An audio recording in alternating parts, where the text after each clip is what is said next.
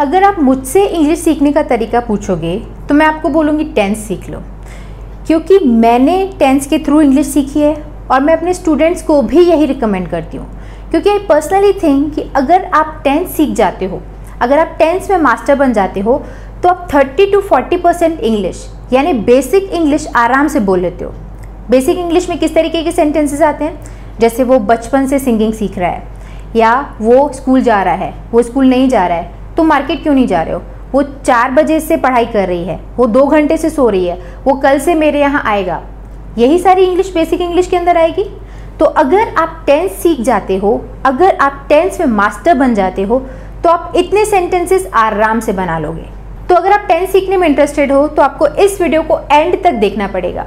क्योंकि इस वीडियो में, इस एक वीडियो में मैं आपको complete tenses from zero to hundred percent मैं आपको कंप्लीट टेंसेस इसी वीडियो के अंदर सिखाने वाली हूँ। यस इट्स अ महा वीडियो ऑफ़ टेंस यानी इस वीडियो में आपको सब कुछ जानने के लिए मिलेगा कि टेंस क्या होते हैं टेंस कितने टाइप के होते हैं, कितने उसके सब टाइप्स होते हैं, किस टेंस के अंदर किस तरीके के सेंटेंसेस आते हैं, वो सेंटेंसेस कैसे बनाए जाते हैं, उनका स्ट्रक्चर क्या होता है, और हर एक सेंटेंस का नेगेटिव इंट्रोगेटिव इंट्रोगेटिव नेगेटिव और डब्ल्यू एच टाइप के क्वेश्चंस यानी सब कुछ आपको इस वीडियो में मिलेगा। और टेंस सीखना एक बहुत टाइम कंज्यूमिंग प्रोसेस है। टेंस अगर आप पूरा सीखना चाहते हो, जितना मैंने आपको इंट्रो में बताया तो उसके लिए आपको करीब करीब एक महीना चाहिए। बट अगर आपको वो पूरा कोर्स फ्री ऑफ़ कॉस्ट इस वीडियो में सीखने के लिए मिल रहा है तो I don't think it's a bad deal for you तो इस वीडियो को आपको एंड तक ज़रूर देखना चाहिए और उसके लिए आपको कुछ भी स्पेशल करने की ज़रूरत नहीं है। आपको कुछ पे भी नहीं करना है और आपको कुछ एक्स्ट्रा नॉलेज होने की भी ज़रूरत नहीं है। All you need is one notebook एक पेन और आपका फोकस। अगर वो है आपके साथ, और अगर आप मेरे साथ एंड तक बने हुए हैं, बिना स्किप किए इस वीडियो को देख रहे हैं तो आई कैन गारंटी कि इस वीडियो के एंड तक आप टेंसेस तो सीख ही जाओगे। सो लेट्स बिगिन तो शुरुआत करते हैं टेंस होता क्या है? उसके कितने टाइप होते हैं? तो टेंस का मतलब होता है काल। काल का मतलब होता है समय टाइम और आप सभी लोग जानते हो कि टाइम तीन तरीके से डिफाइन होता है, यानी टाइम की तीन कैटेगरीज होती हैं। एक होता है प्रेजेंट, यानी वर्तमान काल, अभी, जो चल रहा है, जो अभी की स्थिति है, उस समय को हम वर्तमान काल बोलते हैं, जिसे हम प्रेजेंट टेंस बोलते हैं। प्रेजेंट टेंस अभी का समय। दूसरा होता है पास्ट जो पहले था, अब नहीं है। पास्ट को हम भूतकाल बोलते हैं राइट तो टेंस का दूसरा टाइप हुआ पास्ट टेंस और उसका तीसरा टाइप होता है फ्यूचर यानी जो भविष्य में होगा, जो अभी नहीं है, जो पहले नहीं था, जो फ्यूचर में होगा।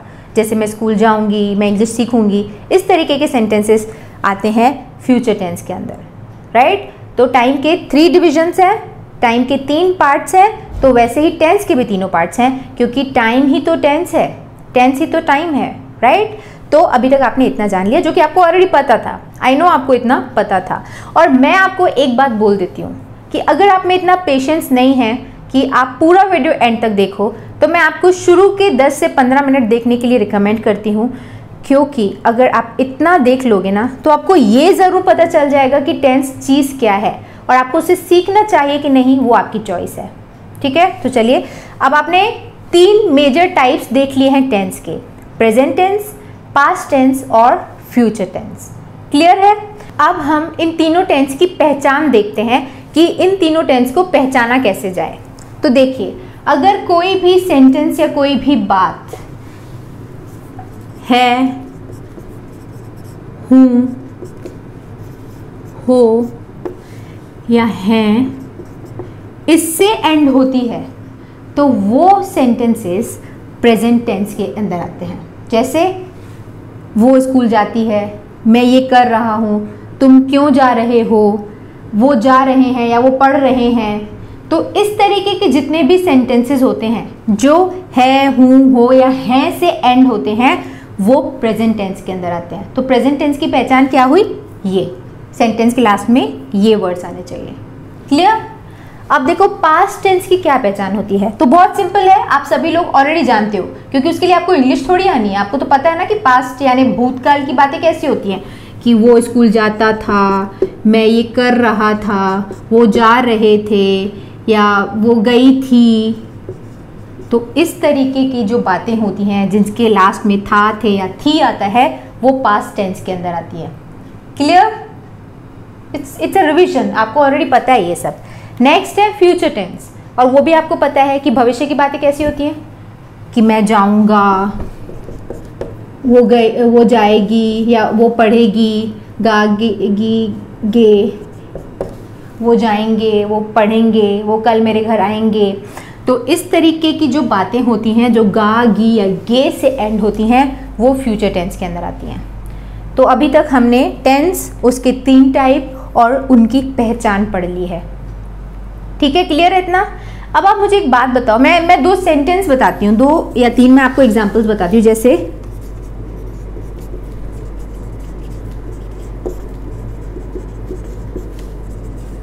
मैं स्कूल जाती हूँ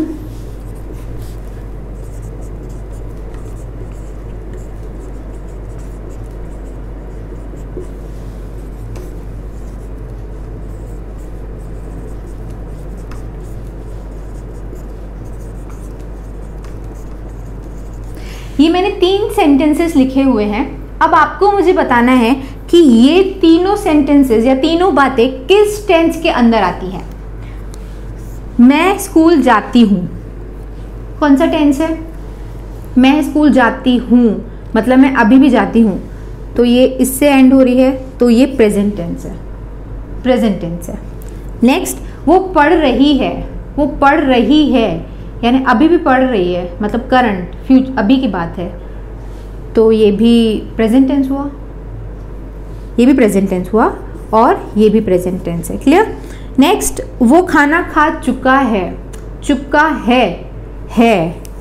तो ये भी प्रेजेंट टेंस हुआ। तो तीनों प्रेजेंट टेंस हुए। तो बस इतना क्लियर है कि समझना कि ये तीनों, क्योंकि इसमें तो क्लियर नहीं है कि मैं स्कूल जाती हूँ, कब जाती हूँ तो मुझे नहीं पता। कब जाती हूँ, मुझे नहीं पता। निश्चित नहीं है, ये अनिश्चित बात है, पर है प्रेजेंट की, पर अनिश्चित है। मैं पढ़ रही हूँ, या वो पढ़ रही है मतलब अभी भी पढ़ रही है, मुझे पता है, उसका टाइम पता है, अभी कंटिन्यू है वो काम। तो इसमें तो निश्चित नहीं है, पर इसमें निश्चित है अभी का, खा चुका है, यानी वो परफेक्टली हो चुका है काम। तो ये तीनों तो हैं प्रेजेंट के, पर तीनों अलग अलग टाइप की बातें हैं। तो मैं कैसे बोलूँ कि ये प्रेजेंट बस है? क्या इतना जान लेना सफिशियंट है क्या? नहीं। तो इन अलग अलग टाइप के सेंटेंसेस को, जो कि एक ही टेंस के अंदर आते हैं बट इनका टाइप एकदम अलग है तो इनको बनाने का स्ट्रक्चर भी अलग होगा। डेफिनेट सी बात है। तो जब एक सेंटेंस या जब एक टेंस की बात अलग अलग तरीके से अलग अलग सेंटेंस आते हैं एक टेंस के अंदर तो उनको डिफाइन करने के लिए इन टेंसेस को सब कैटेगराइज कर दिया गया है।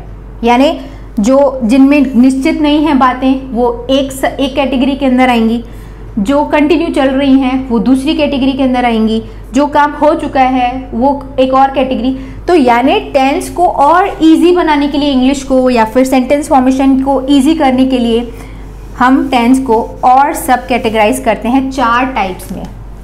यानी हर एक टेंस के फोर सब टाइप्स होते हैं, जिसमें अलग अलग टाइप के सेंटेंसेस आते हैं। है प्रेजेंट के बट उनका टाइप अलग है राइट तो अभी हमने क्या देखा कि प्रेजेंट टेंस के भी सब टाइप्स होते हैं। कितने सब टाइप्स होते हैं? फोर सब टाइप्स होते हैं। पहला होता है indefinite tense present indefinite tense मैंने यहाँ पे इनडेफिनेट लिखा है। आप चाहो तो प्रेजेंट लिख दो बट क्लियर सी बात है कि यहाँ इसका सब कैटेगरी है तो हम प्रेजेंट लगाएँगे। प्रेजेंट इनडेफिनेट टेंस है हमारे पास।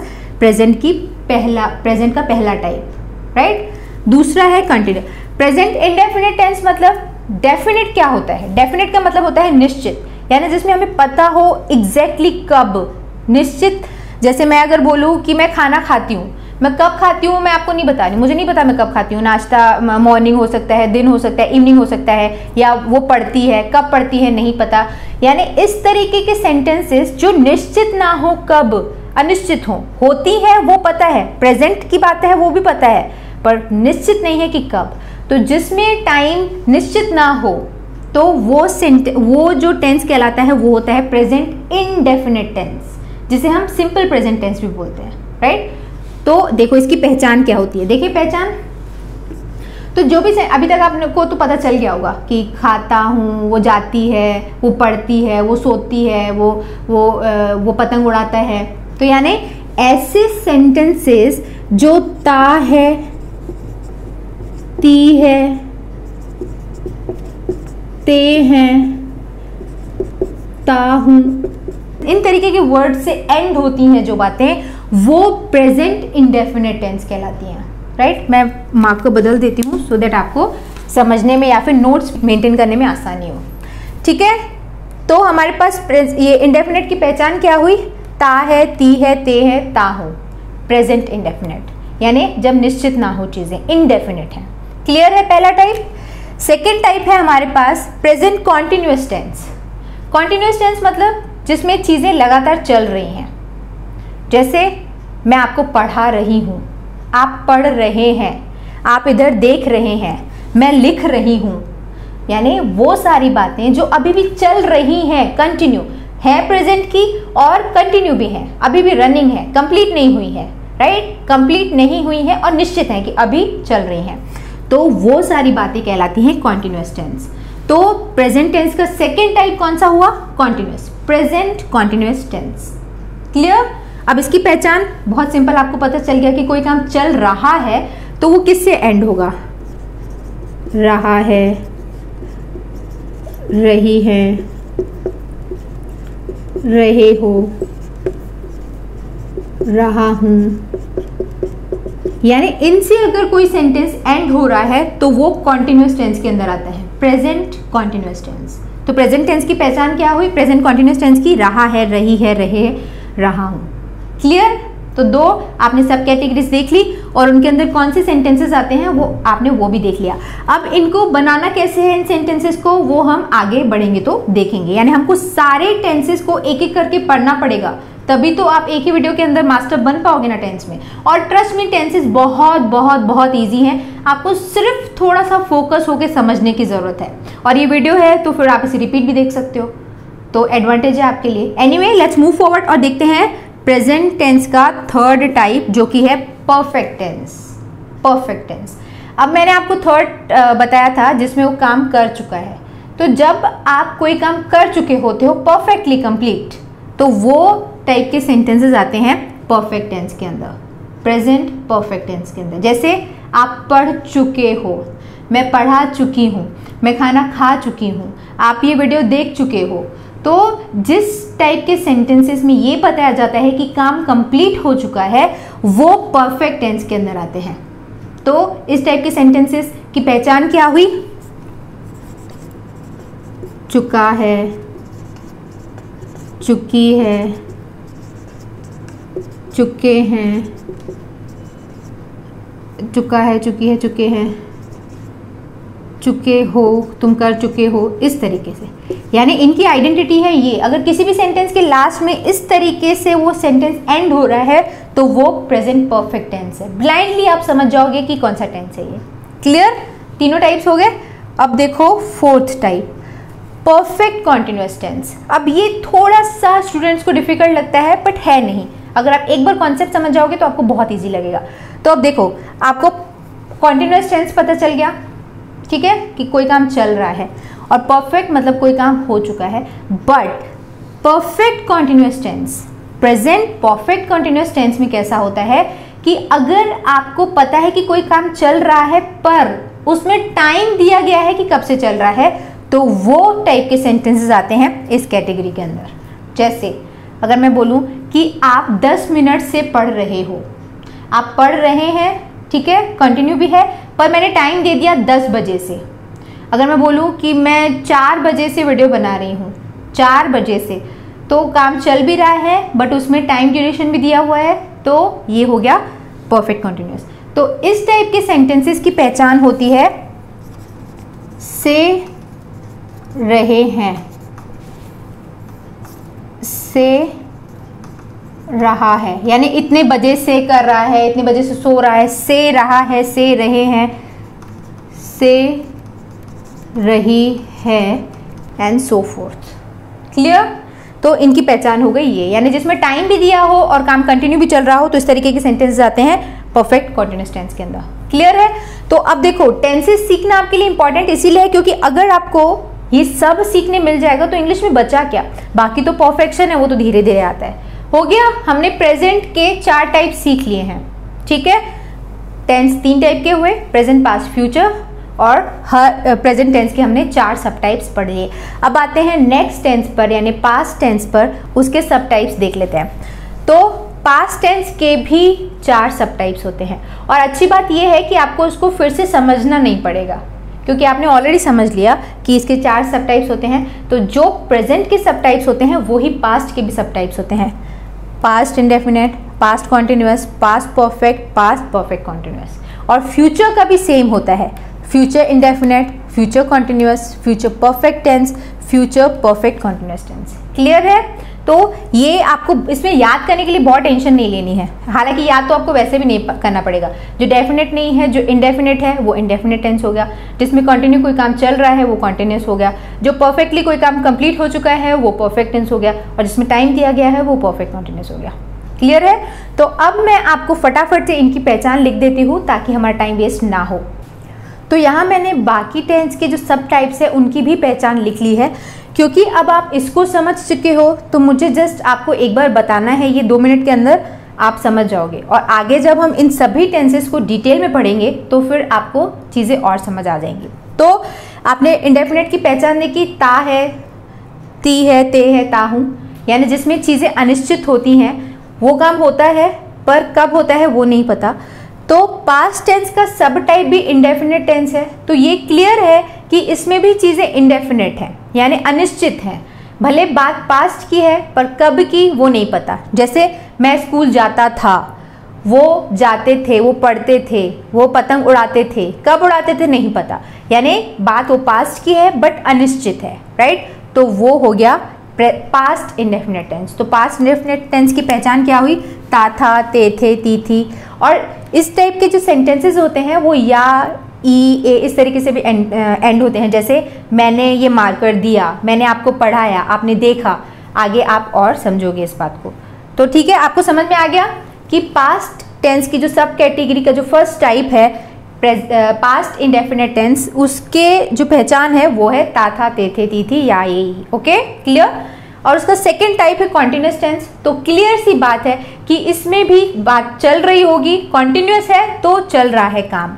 क्योंकि ये पास्ट है तो पास्ट में चल रहा था काम।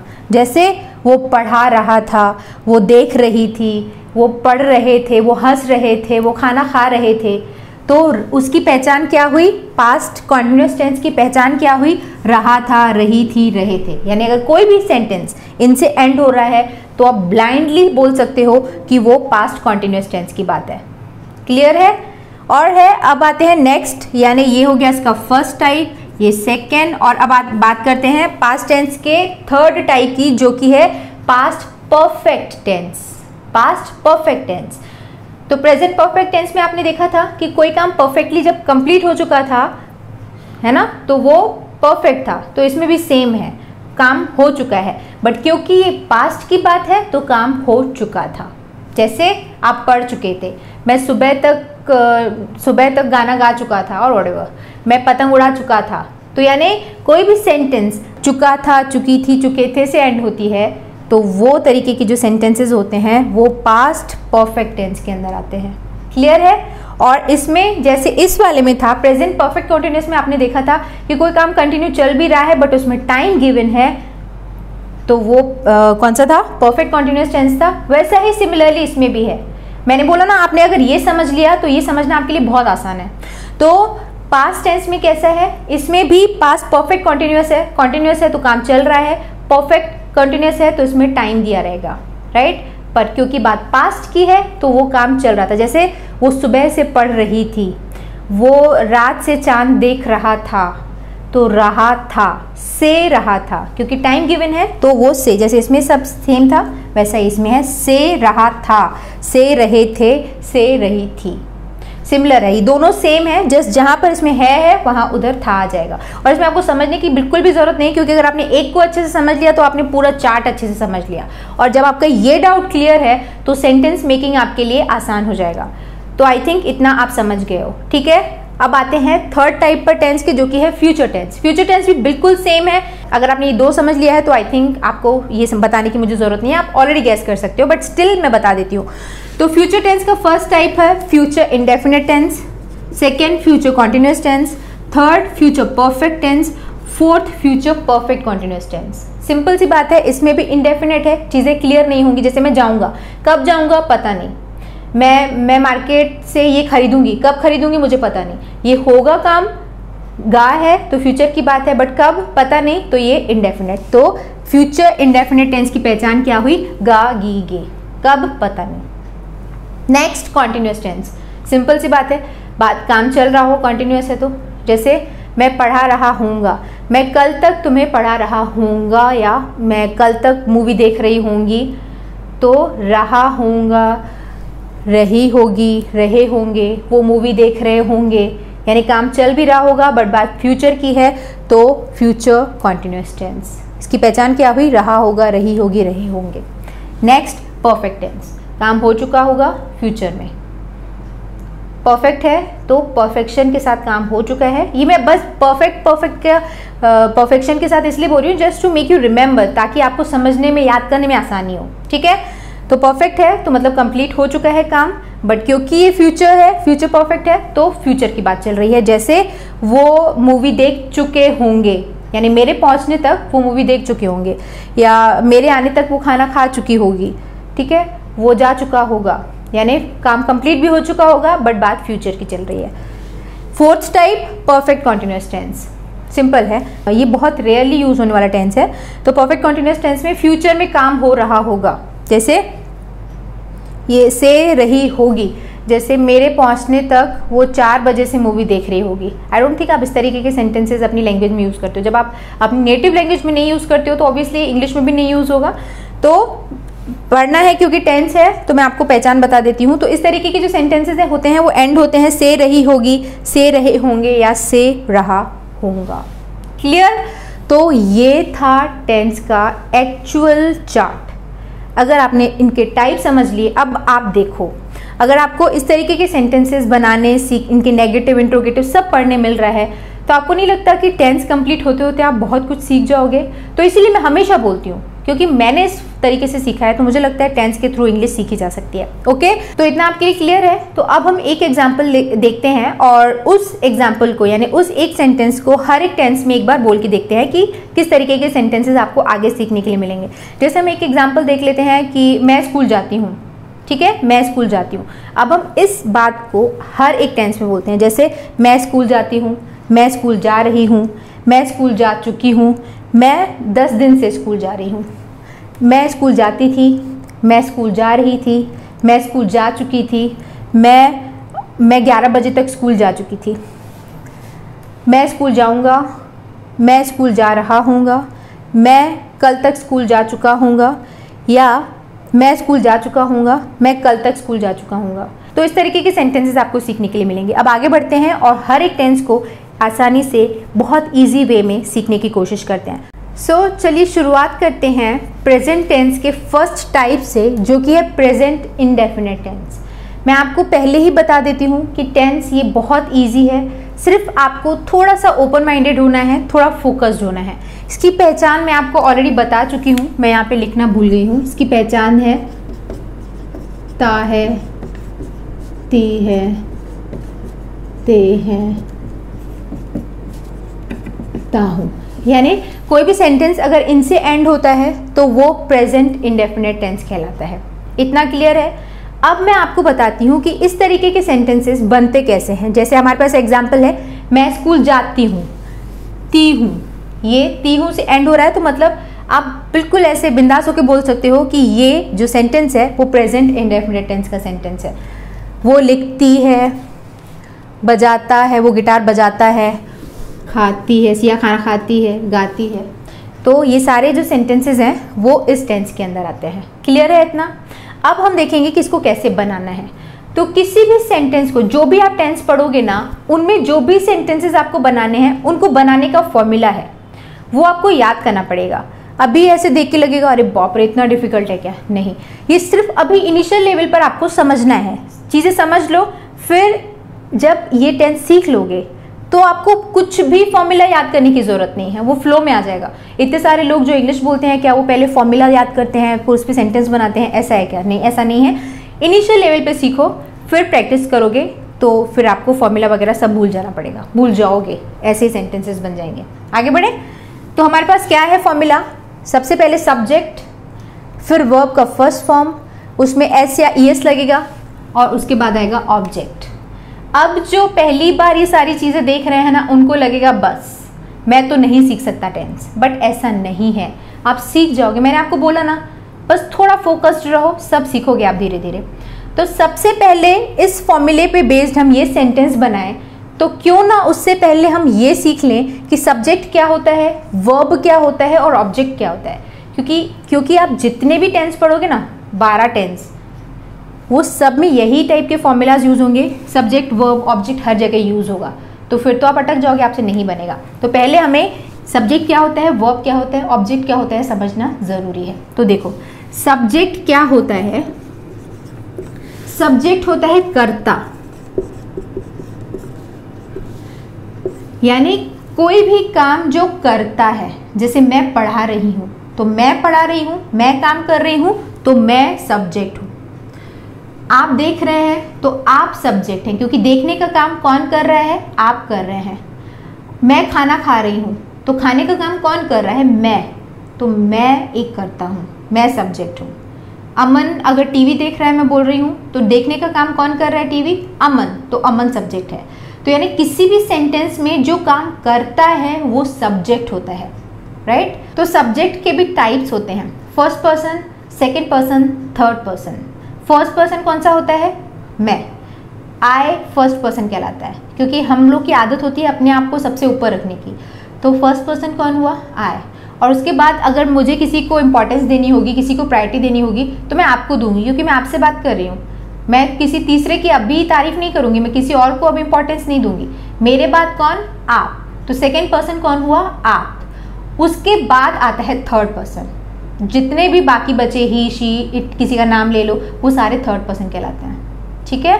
तो first person I second person you third person जो बाकी बचे, वो सारे थर्ड पर्सन कहलाते हैं। क्लियर है इतना? पर फ़िलहाल आपको इतनी समझने की ज़रूरत नहीं है।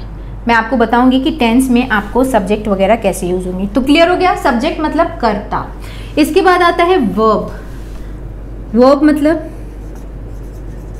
क्रिया। यानी कोई भी जो काम होता है ना, वो वर्ब कहलाता है। जैसे पढ़ाना, देखना, उठना, बैठना, हंसना, रोना, गाना, ये सारी क्रियाएँ हैं, ये सारे काम हैं। ठीक है? तो ये कहलाते हैं वर्ब वर्ब के टाइप फॉर्म्स होते हैं, जैसे देखना। देखने को क्या बोलते हैं? सी तो सी फ़र्स्ट फॉर्म है सौ सेकेंड फॉर्म है सीन थर्ड फॉर्म है। तो जब आप टेंस पढ़ोगे तो आपको इतना नॉलेज होना चाहिए। बहुत सारी जो बेसिक वर्ब्स हैं, उनके तीनों फॉर्म्स आपको याद करने पड़ेंगे तो ही आप टेंथ सीख पाओगे। ठीक है? तो वो अगर आप सीखना चाहते हो तो उसके ऊपर मैंने एक वीडियो बनाया है, जिसमें मैंने 1000 वर्ब्स उनके सेकेंड थर्ड फॉर्म और हर एक वर्ब का मीनिंग बताया है। तो वो वीडियो अगर आप देखना चाहते हो तो उसका लिंक नीचे मैं डिस्क्रिप्शन में दे दूँगी, आप देख लो। अभी तो तुरंत मत याद भी करो तो चलेगा, बाद में आप धीरे धीरे उनको याद करो, क्योंकि इंग्लिश सीखनी है तो आपको पता होना चाहिए कि किसको क्या बोलते हैं। जैसे अगर आप बोलो कि, कि वो आता था तो वहाँ पे आपको कम का सेकेंड फॉर्म यूज़ करना पड़ेगा। तो सेकेंड फॉर्म आपको याद होना चाहिए तभी आप बना पाओगे। तो खैर वो बात की बात है। फ़िलहाल आप रूल देख लो चीज़ें समझ लो। ठीक है? तो वर्ब के तीन फॉर्म्स होते हैं ये आपको याद होना चाहिए। क्योंकि आगे जब मैं दूसरे फॉर्मूलाज बताऊँगी तो मैं उसमें आपको बोलूँगी कि यहाँ पे वर्ब का सेकेंड फॉर्म यूज़ होगा। तो इसीलिए मैं आपको बता देती हूँ जस्ट नॉलेज के लिए। क्लियर है? सब्जेक्ट पता चल गया वर्ब पता चल गया। इसके बाद आता है ऑब्जेक्ट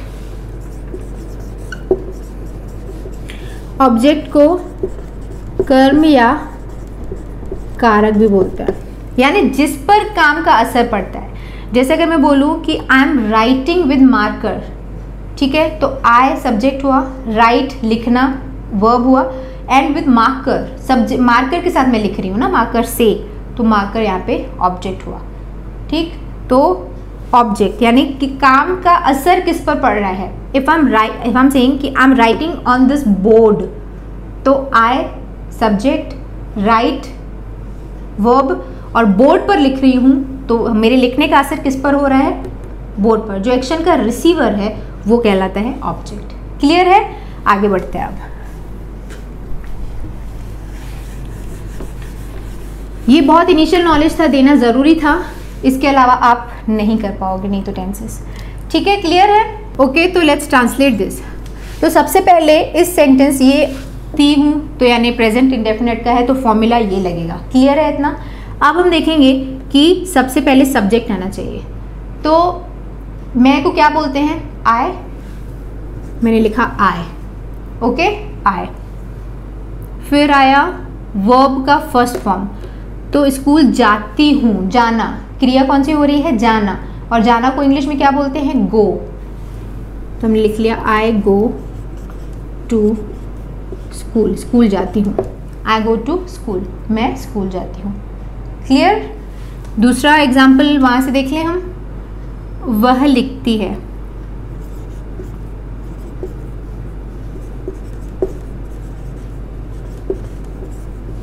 अगर हमारे पास सेकेंड एग्ज़ाम्पल है ये, अगर हमें इसको ट्रांसलेट करना है तो हम कैसे करेंगे? सबसे पहले आएगा सब्जेक्ट वह। वह मतलब शी लिखती है है ना? ती है, लड़की है तो वह के लिए शी यूज़ होता है। अब आप सोच रहे होगे कि हमको कैसे पता चलेगा? हम तो एकदम बिगनर हैं। तो यहाँ पर देखो मैंने लिखा हुआ है सब्जेक्ट आई मतलब मैं वी हम। ये सारे सब्जेक्ट्स की लिस्ट है। आई वी, यू मतलब आप या तुम, दे मतलब वो या वे। इसके बाद आता है प्लूरल नंबर सारे प्लूरल नंबर्स ये मैंने क्यों लिखा है? आपको मैं आगे बताऊँगी। इसके बाद नेक्स्ट सब्जेक्ट आता है ही मतलब वह, लड़के के लिए, वह। अगर आप किसी पुरुष या किसी लड़के के बारे में बात कर रहे हो, किसी मेल जेंडर के बारे में बात कर रहे हो तो आप ही यूज़ करते हो। किसी फीमेल के बारे में आप बात कर रहे हो तो वहाँ पर आप शी यूज़ करते हो। दोनों का मतलब वह ही होता है। ये भी वह, मैं इसलिए लिख रही हूँ क्योंकि ये मैं मिटाऊँगी नहीं, आगे आपको काम आता रहेगा। ये नेम है और ये प्लूरल नंबर ये है मैं, ये है हम, ये है आप, या यू तुम, वे और ये प्लूरल नंबर अब देखो, ये सारे सब्जेक्ट्स हैं, मैं, हम, आप, या तुम, जो भी, वे प्लूरल नंबर यानी जितने भी बहुवचन की में अगर हम बात करेंगे, जैसे हम बोलेंगे कि लड़के जा रहे हैं तो बहुत सारे लड़कों के बारे में हम जब बात करेंगे तो प्लूरल नंबर। यह प्लूरल नंबर ही जब आप किसी लड़के के बारे में बात करोगे, वह तो ही किसी लड़की के बारे में बात करोगे, वह लिखती है तो शी जब आप नॉन लिविंग ऑब्जेक्ट्स के बारे में बात करते हो, जैसे अगर मैं बोलूँ कि वो मार्कर है, वह मार्कर है तो ये लड़का भी नहीं है, लड़की भी नहीं है, एक नॉन लिविंग ऑब्जेक्ट है, एक चीज़ है।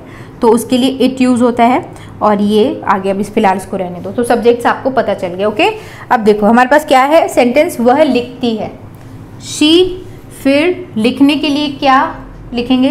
अच्छा लिखते हैं शी वो एक पत्र लिखती है, ठीक है? मैं सेंटेंस बदल रही हूँ। वह एक पत्र लिखती है।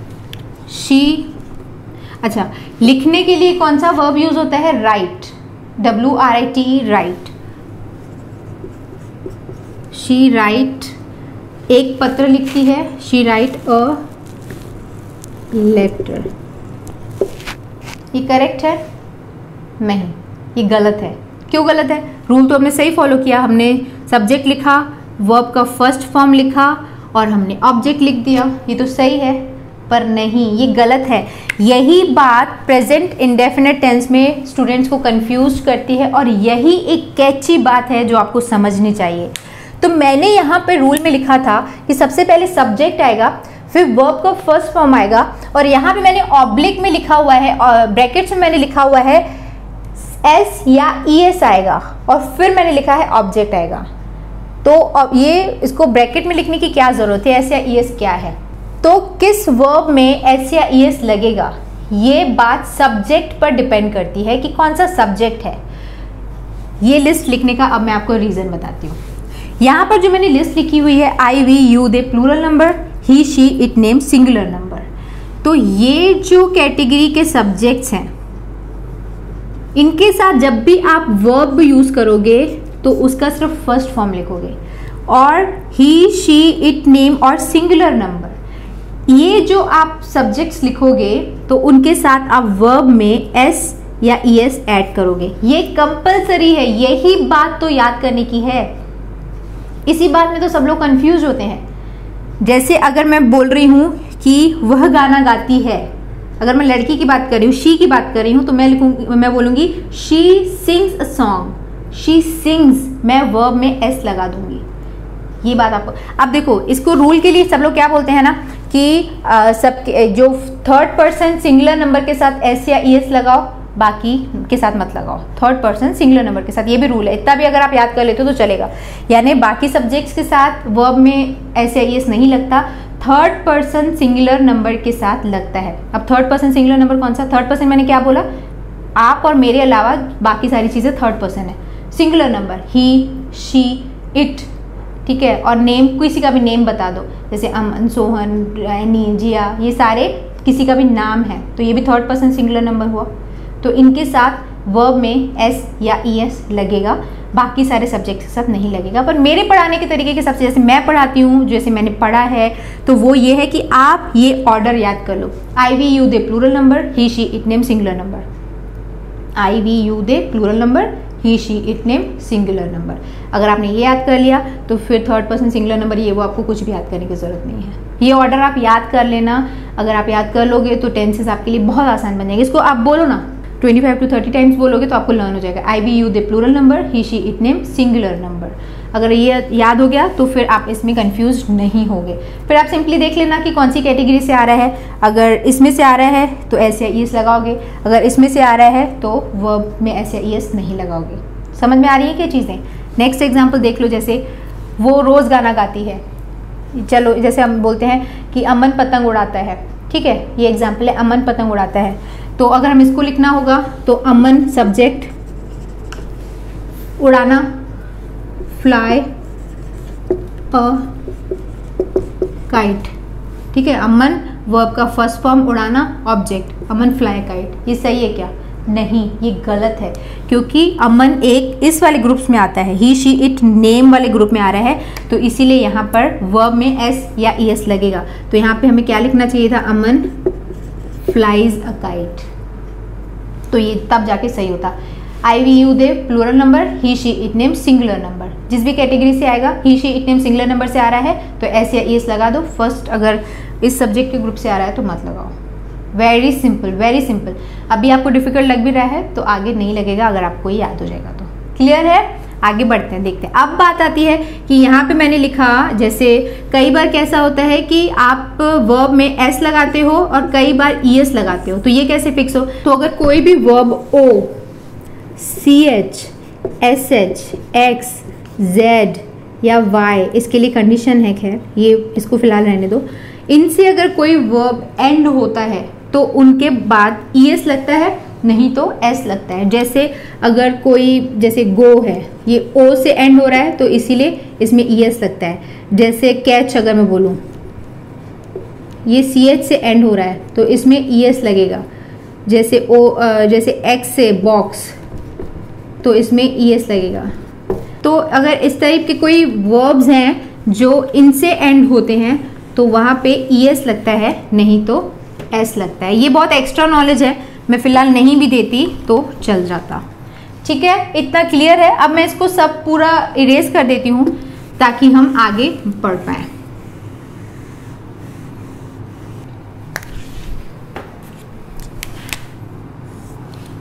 एनीवे लेट्स मूव फॉरवर्ड अब देखो। ये क्लियर हो गया आपके लिए?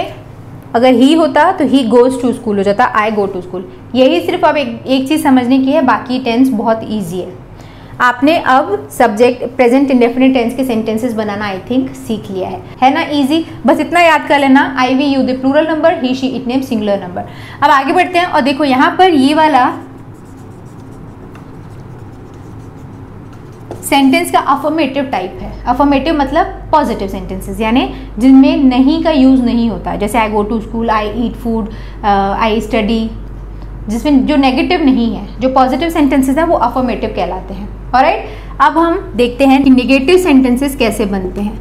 यानी ऐसे सेंटेंसेस जो नहीं, जिनमें नहीं का यूज़ होता है. जैसे मैं स्कूल जाती हूँ तो अगर आपको बोलना हो मैं स्कूल नहीं जाती हूँ तो आप कैसे सेंटेंस बनाओगे? तो सबसे पहले आएगा सब्जेक्ट उसके बाद आएगा डू या फिर डज ये बात आपके लिए नहीं है, मैं आपको बताती हूँ कैसे यूज़ होना है। सब्जेक्ट प्लस डू या डस उसके बाद आएगा नॉट उसके बाद आएगा वर्ब का फ़र्स्ट फॉर्म और उसके बाद आएगा ऑब्जेक्ट ये है नेगेटिव सेंटेंस का स्ट्रक्चर अब देखो, यहाँ पर मैंने दो नए वर्ड्स का इंक्लूजन किया है डज एंड डू तो डू कहाँ लगेगा, डस कहाँ लगेगा? आप हमेशा याद रखना कि जब भी किसी सेंटेंस को आपको नेगेटिव बनाना है तो वो हेल्पिंग वर्ब के साथ ही पॉसिबल है। किसी भी सेंटेंस में अगर हेल्पिंग वर्ब है तो उसके बाद आप सिंपली नॉट लगा देना तो वो नेगेटिव बन जाएगा। बट क्योंकि इन सेंटेंस में हमारे पास हेल्पिंग वर्ब नहीं है हेल्पिंग वर्ब मतलब सहायक क्रिया। इनमें सहायक क्रिया नहीं है तो हमें अलग से सहायक क्रिया लिखनी पड़ती है है ना? तो प्रेजेंट इंडेफिनेट टेंस के हेल्पिंग वर्ब्स कौन से होते हैं? डू एंड डज यहाँ पे एक बात आपने अगर गौर की हो तो यहाँ मैंने एस या ई एस नहीं लिखा है वर्ब के बाद। तो यहाँ पे नेगेटिव बनाने में ये बात आसान हो जाती है, क्योंकि इसमें आपको सोचना पड़ता है कि सब्जेक्ट कौन सा है। हम डू लगाएँ कि डज लगाएँ, पर यहाँ पे ऐसा नहीं है। नेगेटिव बनाने में आपको ये नहीं सोचना है। आपको सोचना क्या है कि किसमें हम डू लगाएँ और किसमें हम डज लगाएँ। तो ये भी बहुत सिंपल है। जहाँ पे आप एस या ई एस लगाते थे जिन सब्जेक्ट्स में, वहाँ डज लगता है। और जहाँ पे आप एस या ई एस नहीं लगाते थे, है ना, जो सिंपली वर्ब का फ़र्स्ट फॉर्म लिखते थे, वहाँ डू लगता है। तो इसके लिए अगेन मैंने आपको क्या बोला था? ये वाला आप याद कर लेना, आपको चीज़ें बहुत आसान हो जाएँगी आपके लिए। तो ये जो ग्रुप है I we you they plural number इनके साथ हेल्पिंग वर्ब डू लगता है। और ये जो ग्रुप है ही शी इट नेम और सिंगुलर नंबर इनके साथ डज लगता है। अगर आपको ये पता है तो फिर आप आराम से इसका नेगेटिव बना सकते हो। अब हम इसी का नेगेटिव बना के देखते हैं। इसका हम नेगेटिव बनाए, इसी सेंटेंस का। मैं स्कूल जाती हूँ तो हमारे पास क्या बनेगा? मैं स्कूल नहीं जाती हूँ। मैं स्कूल नहीं जाती हूँ तो हमारे पास ये कैसे ट्रांसलेट होगा? सब्जेक्ट डू या डज आई के साथ क्या लगेगा? डू फिर लगेगा नॉट स्कूल जाने जाने के लिए कौन सा वर्ब यूज़ होगा? Go I do not go to school I do not go to school very simple अगर वो लिखती है, वो नहीं लिखती है। वो लिखती है शी राइट्स वो नहीं लिखती है शी डज नॉट राइट हमेशा याद रखना, अगर आप किसी सेंटेंस में डू या डज इंक्लूड कर देते हो तो उसके बाद वर्ब से एस या ई एस ध्यान से हटा देना, क्योंकि ये बहुत कॉमन मिस्टेक है जो सब कोई करते हैं, आप मत करना। यही इसका की पॉइंट है समझने का। पहले तो एस या ई एस कहाँ लगेगा, वो ध्यान देना। उसके बाद अगर आप नेगेटिव या इंट्रोगेटिव बना रहे हो तो डू या डज अगर सेंटेंस में आ गया तो एस या ई एस की ज़िम्मेदारी खत्म आपकी। वो आप कभी भी मत लगाना। वो सिंपली वर्ब का फ़र्स्ट फॉर्म आ जाएगा। इंट्रोगेटिव अफर्मेटिव हो गया नेगेटिव हो गया। अब देखें इंट्रोगेटिव सेंटेंसेस कौन से होते हैं। इंट्रोगेटिव मतलब? मतलब क्वेश्चन मार्क वाले सेंटेंसेस तो किसी भी सेंटेंस के फॉर्म्स होते हैं। एक होता है अफर्मेटिव जो सिंपल स्ट्रेट फॉरवर्ड सेंटेंसेज होते हैं, जिनमें नहीं का यूज़ नहीं होता। दूसरा होता है नेगेटिव यानी जिनमें नहीं का यूज़ होता है। जैसे मैं स्कूल जाती हूँ, मैं स्कूल नहीं जाती हूँ। तीसरा होता है इंट्रोगेटिव सेंटेंसेज जिसमें हम क्वेश्चन बोलते हैं कि क्या मैं स्कूल जाती हूँ? है ना? और इसके बाद होता है इंट्रोगेटिव नेगेटिव टेंस में, जैसे क्या मैं स्कूल नहीं जाती हूँ? यानी क्वेश्चन भी है और नेगेटिव भी है, क्या मैं स्कूल नहीं जाती हूँ? और इसका फिफ्थ टाइप होता है डब्ल्यू एच क्वेश्चन वाले वर्ड्स जिनमें डब्ल्यू एच जैसे क्या, क्यों, कैसे, इनका यूज़ होता है। जैसे मैं स्कूल क्यों नहीं जाती हूँ? इस तरीके के सेंटेंसेस जब बनेंगे तो वो डब्ल्यू एच क्वेश्चन वाले सेंटेंसेस कहलाते हैं इंट्रोगेटिव ओके तो अभी हमने दो पढ़ लिए हैं, तीसरा पढ़ते हैं इंट्रोगेटिव मतलब क्वेश्चन तो यहाँ पर आप देखना इसका स्ट्रक्चर क्या है। बहुत ईजी है, बहुत सिंपल है। तो इसका स्ट्रक्चर है कि सबसे पहले आप कभी भी सारे टेंस में देखना, जो हेल्पिंग वर्ब होता है, वो आगे आ जाता है जब आपको किसी भी सेंटेंस का क्वेश्चन बनाना है। अगर आप क्वेश्चन बना रहे हो तो वो आगे आ जाएगा। जैसे डू या डज हेल्पिंग वर्ब है, वो आगे आ जाएगा। फिर आएगा सब्जेक्ट फिर आएगा वर्ब का फ़र्स्ट फॉर्म एस या ई एस नहीं आएगा, क्योंकि हमने डू डज इंक्लूड कर दिया है इसमें। वर्ब का फ़र्स्ट फॉर्म फिर आएगा ऑब्जेक्ट फिर आएगा क्वेश्चन मार्क ये लगाना ज़रूरी है, क्योंकि without a question mark a sentence is counted wrong इसका इंट्रोगेटिव क्या बनेगा? हिंदी में मैं स्कूल नहीं जाती हूँ। का इंट्रोगेटिव क्या बनेगा? क्या मैं स्कूल जाती हूँ? क्या मैं स्कूल जाती हूँ? राइट इसको हमें अभी ट्रांसलेट करना है। इसको मैं इधर ही ट्रांसलेट कर देती हूँ क्योंकि जगह नहीं है हमारे पास। क्या मैं स्कूल जाती हूँ? Question mark is very important इसके बिना गलत है ये क्वेश्चन तो अब इसको आपको क्या करना है? सेंटेंस का स्ट्रक्चर कैसे बनेगा? डू या डज आगे आएगा। तो सिंपल सी बात है कि सब्जेक्ट आप देख लो कौन सा है, जिसमें अगर डज वाला है, इस ग्रुप में से आ रहा है सब्जेक्ट तो डू आएगा और अगर इस ग्रुप में से है तो डज आगे आएगा। जैसे क्या, मैं। मैं इसमें से आ रहा है तो डू आगे आएगा। डू ठीक है? डू या डज हो गया। सॉरी डू या डज हो गया।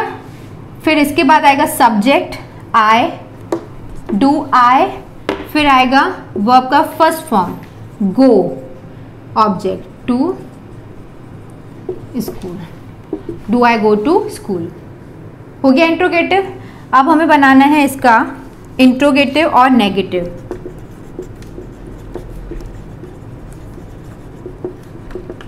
इंट्रोगेटिव नेगेटिव अब इसका स्ट्रक्चर कैसे तरीके के सेंटेंसेस बनेंगे इसके अंदर? जैसे क्या मैं स्कूल जाती हूँ तो क्या मैं स्कूल नहीं जाती हूँ? नेगेटिव भी और इंट्रोगेटिव भी। तो इसका स्ट्रक्चर कैसे बनेगा? सबसे पहले आएगा do does subject not subject के बाद आएगा नॉट और यही सारे स्ट्रक्चर्स हर जगह कॉपी होंगे। बन, बस उनका हमें फॉर्मूला एक बार देखते जाना पड़ेगा। जैसे अगर आप जब भी नेगेटिव बनाओगे, किसी भी फॉर्मूला किसी भी टेंस के अंदर तो उसका हेल्पिंग वर्ब देख लेना, उसके बाद नॉट लगा देना। और अगर आपको इंट्रोगेटिव बनाना होगा तो हेल्पिंग वर्ब देख लेना, वो आगे ला देना। ठीक है, वो आएगा, फिर सब्जेक्ट आ जाएगा। और अगर आपको इंट्रोगेटिव नेगेटिव बनाना है तो सबसे पहले हेल्पिंग वर्ब आएगा, फिर सब्जेक्ट आएगा, और सब्जेक्ट के तुरंत बाद नॉट आएगा, उसके बाद बाकी का पार्ट आएगा। डू आई नॉट वर्ब का फ़र्स्ट फॉर्म इसके बाद object and question mark clear अब हम इसको लिखते हैं। क्या है हमारे पास? क्या मैं स्कूल नहीं जाती हूँ? क्या मैं स्कूल नहीं जाती हूँ? बनेगा कैसे? सबसे पहले आएगा डू या डज अच्छा नीचे लिख देती हूँ। सबसे पहले आएगा डू या डज तो मैं के साथ डू लगना चाहिए डू फिर आएगा सब्जेक्ट डू आई फिर आएगा नॉट डू आई नॉट फिर आएगा वर्ब फिर इसके बाद आएगा object do I not go to school clear इसके बाद आते हैं डब्ल्यू एच क्वेश्चन तो डब्ल्यू एच क्वेश्चन क्या होते हैं? तो क्वेश्चन दो टाइप के होते हैं. पहले टाइप के क्वेश्चन होते हैं जिनका आंसर यस और नो में होता है. जैसे, क्या मैं स्कूल जाती हूँ? तो इसका आंसर है यस और नो क्या मैं खाना खाती हूँ? क्या तुम गाना गाती हो? यस और नो आंसर मिल रहा है बट कुछ टाइप के क्वेश्चंस होते हैं जिनका आंसर यस या नो में नहीं दिया जा सकता। उनमें आपको डिटेल देना ज़रूरी है। जैसे अगर मैं बोलूँ कि तुम स्कूल जाती हो तो आप बोल सकते हो हाँ या ना। बट अगर मैं बोलूँ कि तुम स्कूल क्यों नहीं जाती हो? तो आप यस और नो तो नहीं बोल सकते आपको रीज़न देना पड़ेगा। यानी जिसका आंसर यस या नो में नहीं दिया जा सकता एक्स्ट्रा आपको बोलना ही पड़ेगा उसका आंसर तो वो टाइप के क्वेश्चंस कहलाते हैं डब्ल्यू एच क्वेश्चन जिनमें क्या, क्यों, कैसे इनका यूज़ होता है।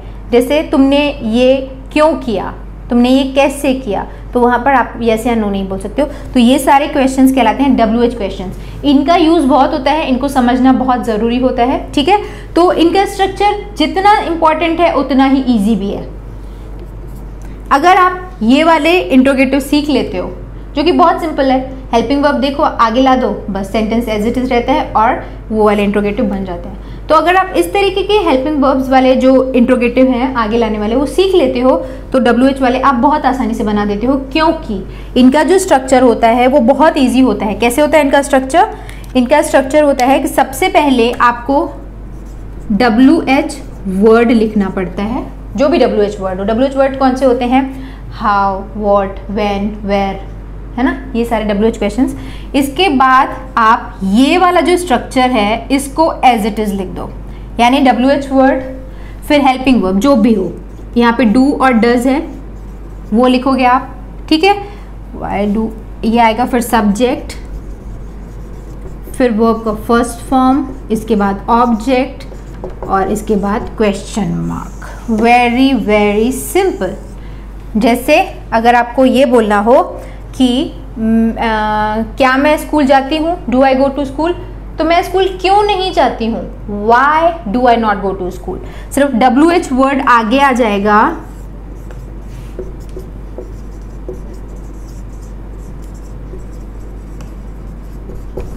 बाकी का पूरा एज इट इज़ रहेगा। तो ये टाइप के क्वेश्चंस बहुत इंपॉर्टेंट होते हैं और फॉर्मूला हर जगह सेम रहेगा। हर जगह सेम रहेगा।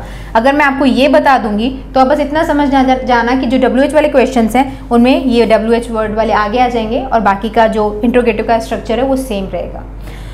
तो ये था प्रेजेंट इंडेफिनेट टेंस उसके टाइप और सबके सेंटेंस स्ट्रक्चर्स बहुत आसान है, बहुत ज़्यादा आसान है। जस्ट आपको इतना याद रखना है कि एस या ई एस कहाँ लगेगा। ये ग्रुप आप याद कर लेना। अगर आपने इतना याद कर लिया तो फिर आपको कभी भी दिक्कत नहीं होगी। I we you they plural number he she it name singular number इसके बाद ये सारे सेंटेंस स्ट्रक्चर्स हैं। अब आपको क्या करना है कि इनकी प्रैक्टिस कैसे करनी है? अगर आप इनकी प्रैक्टिस करना चाहते हो तो हर एक सेंटेंस जितने भी आप सोच सकते हो, क्योंकि प्रेजेंट इंडेफिनेट के सेंटेंसेस आप बहुत ज़्यादा सोच सकते हो, है ना? खाना उठना बैठा मैं जाती हूँ, खाती हूँ, सोती हूँ। इस तरीके के सेंटेंस आप सोच सकते हो। इनके ऊपर आप ये वाले ये वाले फॉर्मूले के ऊपर बनाओ। जैसे I eat I go I go to market I study I write a letter I I eat mango I eat food इस तरीके के सेंटेंसेस बनाओ। तुरंत उनका नेगेटिव भी बना दो। I go to market I do not go to market या I fly a kite I do not fly a kite he flies a kite he does not fly a kite इस तरीके के negative बनाओ, फिर उसको बोलो।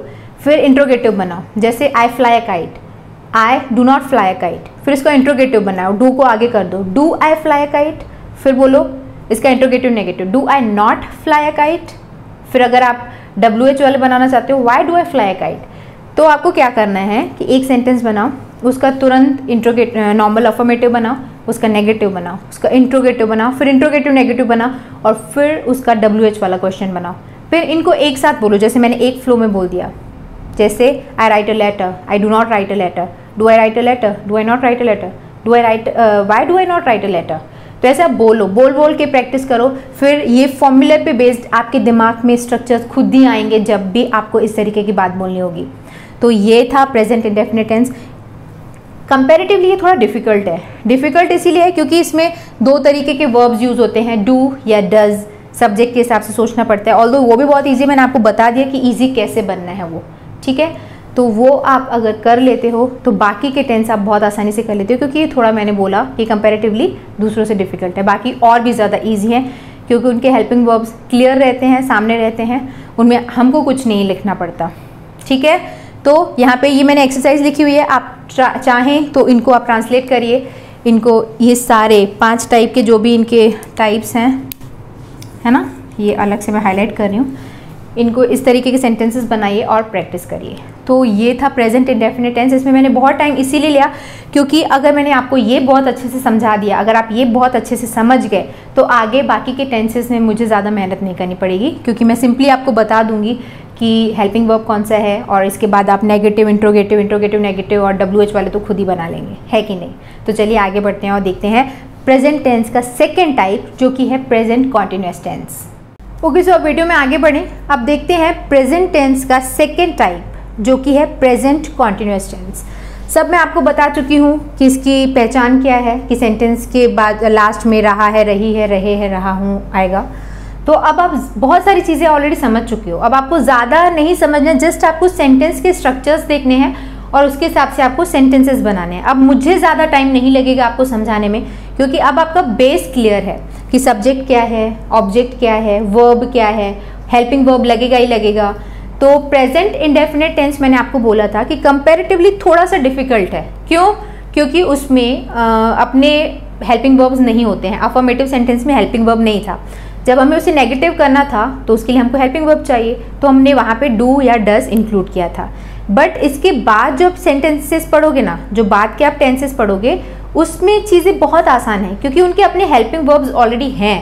तो हमें कुछ भी इंक्लूड करने की ज़रूरत नहीं है। तो अब आगे बढ़ते हैं, देखते हैं कि प्रेजेंट कॉन्टिन्यूस टेंस का सेंटेंस स्ट्रक्चर क्या है, उसका फॉर्मूला क्या है। तो मैंने आपको बोला कि कोई भी टेंस के हम सेंटेंसेस पाँच तरीके से पढ़ते हैं। पहले पढ़ेंगे अफॉर्मेटिव जो स्ट्रेट सेंटेंसेस रहते हैं पॉजिटिव सेंटेंसेस फिर नेगेटिव फिर इंट्रोगेटिव फिर इंट्रोगेटिव नेगेटिव और उसके बाद हम डब्ल्यू एच क्वेश्चन पढ़ते हैं। ये सब आपको पता है। मैं बार बार आगे रिपीट नहीं करूँगी। आगे हम जितने भी टेंसेस पढ़ेंगे, उनमें हम ये सारे टाइप्स पढ़ेंगे। सभी के फॉर्मूलाज पढ़ते जाएँगे। ठीक है? तो यहाँ पर मैंने सब कुछ लिख दिया है। चीज़ें अब बहुत आसान है। जस्ट आप थोड़ा सा ध्यान देते जाना। ठीक है? तो देखो यहाँ पे क्या है? अफॉर्मेटिव सेंटेंस का स्ट्रक्चर क्या है? तो सबसे पहले सब्जेक्ट आएगा। कोई भी आप, कोई भी सेंटेंस बनाओगे ना, किसी भी टेंस का तो सबसे पहले सब्जेक्ट ही आएगा। क्लियर उसके बाद आएगा हेल्पिंग वर्ब सब में ऐसा ही होगा लगभग। सबसे पहले सब्जेक्ट फिर आएगा हेल्पिंग वर्ब इसके बाद आएगा वर्ब का फ़र्स्ट फॉर्म और उसमें आईएनजी लग जाएगा। आप दुनिया का कोई भी कॉन्टिन्यूस का सेंटेंस पढ़ लेना। जिसमें भी रहा है, रही है, रहे हैं, इस तरीके की कंटिन्यूटी की बात आएगी तो वर्ब में आप सिंपली आईएनजी लगा देना, क्योंकि उसके बिना सेंटेंस गलत हो जाएगा और ये कंपलसरी है। वर्ब में आईएनजी लगेगा ही लगेगा और इसको हम वर्ब का फोर्थ फॉर्म भी बोलते हैं। क्लियर है? तो ये वर्ब का फ़र्स्ट फॉर्म उसमें आईएनजी लग जाएगा, उसके बाद आएगा ऑब्जेक्ट वेरी सिंपल स्ट्रक्चर देखते हैं कैसे बनेगा। तो मैंने यहाँ पे सेंटेंस लिखा हुआ है कि वह टीवी देख रहा है। है तो प्रेजेंट टेंस रहा तो कॉन्टिन्यूस प्रेजेंट कॉन्टिन्यूस है। इतना आइडेंटिफिकेशन तो आपसे बन जाना चाहिए आई थिंक और बन रहा भी होगा। क्योंकि इसमें कुछ भी नहीं है खास जो आपको ना समझ आए। तो हमको इसको ट्रांसलेट करना है, करके देखते हैं। वह वह देख रहा है। मेल जेंडर की बात हो रही है वह तो ही लगेगा। ही अब बात आती है कि यहाँ पे हम इज़ लगाएँ कि एम लगाएँ कि आर लगाएँ। है ना? ये थोड़ा सा सोचना पड़ेगा आपको। वहाँ पे तो क्लियर था कि हमने ये पहले ग्रुप के लिए हम डू का यूज़ कर रहे थे सेकेंड ग्रुप के लिए हम डस का यूज़ कर रहे थे। यहाँ पर ऐसा नहीं है। यहाँ पर कैसा है, मैं आपको बताती हूँ। तो दुनिया में इकलौता ऐसा सेंटेंस है, मैं के साथ जो बनता है, जिसमें हूँ लगता है। जैसे मैं पढ़ रही हूँ, मैं जा रहा हूँ, मैं खा रहा हूँ हूँ लगता है, सिर्फ़ आय के साथ। एम का मतलब होता है हूँ। तो आय के साथ सिर्फ़ एम लगेगा। सिर्फ़ आई के साथ एम लगेगा, बाकी सबके साथ या तो इज़ लगेगा या आर लगेगा। ये तो क्लियर हो गया कि एम कहाँ लगेगा। अब बात आती है कि इज़ कहाँ लगेगा और आर कहाँ लगेगा। तो इज़ लगता है सिंगुलर नंबर के साथ। ही इज़ क्योंकि आप क्या बोलोगे? वह जाता, वह जा रहा है। है ना? वह जा रही है। अमन सो रहा है। रिया गा रही है। रीता रीता नाच रही है। है लगता है ना? है। तो इसका मतलब होता है है, जो सिंगुलर नंबर के साथ लगता है। और आर का मतलब होता है हैं, जो कि प्लूरल नंबर के साथ लगता है, बहुवचन के साथ। जैसे वो जा रहे हैं, वो गा रहे हैं, लड़के खेल रहे हैं गायें जा रही हैं। तो जब भी प्लूरल नंबर की बात आती है तो उसके साथ आर लगेगा। कॉमन सेंस यूज़ करना है इसमें आपको, कुछ भी ज़्यादा नहीं। और प्रैक्टिस के साथ तो खुद ही आई के साथ एम आ जाएगा सिंगुलर नंबर के साथ इज़ आ जाएगा। जब आप बहुत प्रैक्टिस करोगे तो ऐसा होगा ऑटोमेटिकली इसमें आपको कुछ भी ज़्यादा सोचने की ज़रूरत नहीं है। तो अभी तक आपने क्या जाना कि आई के साथ लगेगा एम और जो भी प्लूरल नंबर है, उनके साथ लगेगा क्या? आर क्योंकि उसका मतलब होता है हैं और इस सिंगुलर नंबर के साथ लगेगा। तो हम जा रहे हैं आएगा ना? तो इसके साथ लगेगा क्या लगेगा इसके साथ? आर यू आप जा रहे हैं या तुम जा रहे हो तो यू के साथ भी आर लगता है। हम ऐसा बोलते हैं ना आप आ, क्या आप जा रहे हैं आप आ रहे हैं हैं बोलते हैं ना आप आ रहे हैं तो नहीं बोलते हैं तो इसके साथ भी लगेगा आर दे के साथ भी लगेगा आर वे जा रहे हैं और प्लूरल नंबर के साथ तो आर लगेगा ही राइट तो कुल मिला के इसके साथ सिर्फ़ एम लगेगा। बाकी के इन इस ग्रुप के साथ लगेगा आर और यहाँ जो बच्चे सब्जेक्ट्स इनके साथ लगेगा is Aman is flying kite it is raining she is he is तो। यानी इसमें भी आपको यही ऑर्डर याद होना चाहिए। आई के साथ लगेगा एम बाकी। ठीक है क्लियर है? तो किसके साथ एम आर इज़ लगेगा? वो आई थिंक आपको समझ में आ गया। बाकी का तो स्ट्रक्चर है, बहुत सिंपल है, बहुत सिंपल है, आप आसानी से बना सकते हो। ठीक है, देखते हैं आप कैसे बनाना है।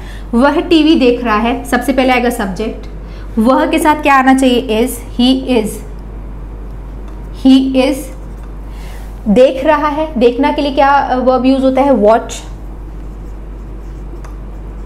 he is watching I N G लगेगा इसमें, है ना? Watch I N G he is watching TV he is watching TV very simple बहुत आसान है. सिर्फ़ आपको प्रैक्टिस करनी है. आगे समझ में इसका सेंटेंस कितना आसान है बनाना? देखो, अब नेगेटिव इसका क्या बनेगा? वह टीवी देख रहा है, वह टीवी नहीं देख रहा है. और मैंने आपको नेगेटिव कैसे बनेगा आपको बता दिया कि आप हेल्पिंग वर्ब देख लो, जो भी है, उसके बाजू में नॉट लगा दो. बाकी का सारा सेंटेंस स्ट्रक्चर सेम रहेगा. He is watching TV he is not watching he is not watching TV he is not watching TV simple interrogative कैसे बनेगा? देख लो हेल्पिंग वर्ब कौन सा है? उसको आगे लेके आओ। आखिरी में क्वेश्चन मार्क लगा दो।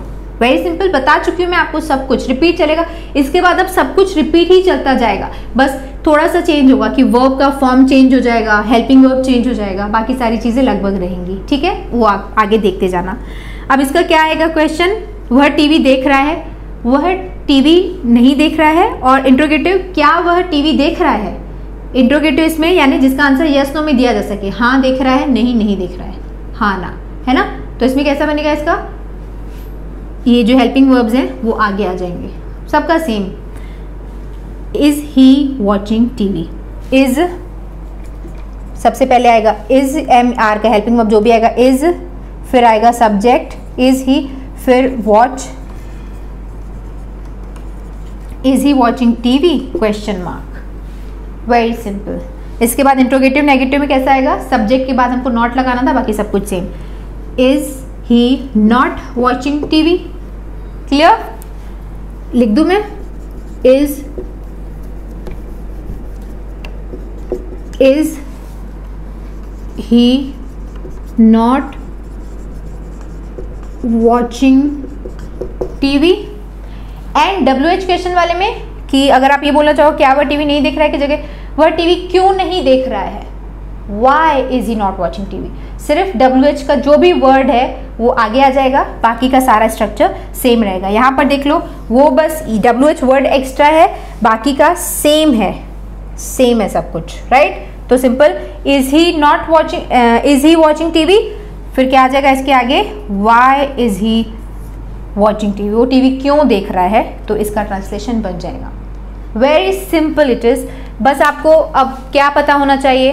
वर्ब्स कि कौन से क्या किसको बोलते हैं वो आपको याद होना चाहिए और स्ट्रक्चर्स प्रैक्टिस से याद होते जाएँगे। जैसे एक और एग्जांपल अगर आप देखना चाहो तो जैसे आम, कि मैं खाना खा रही हूँ है ना?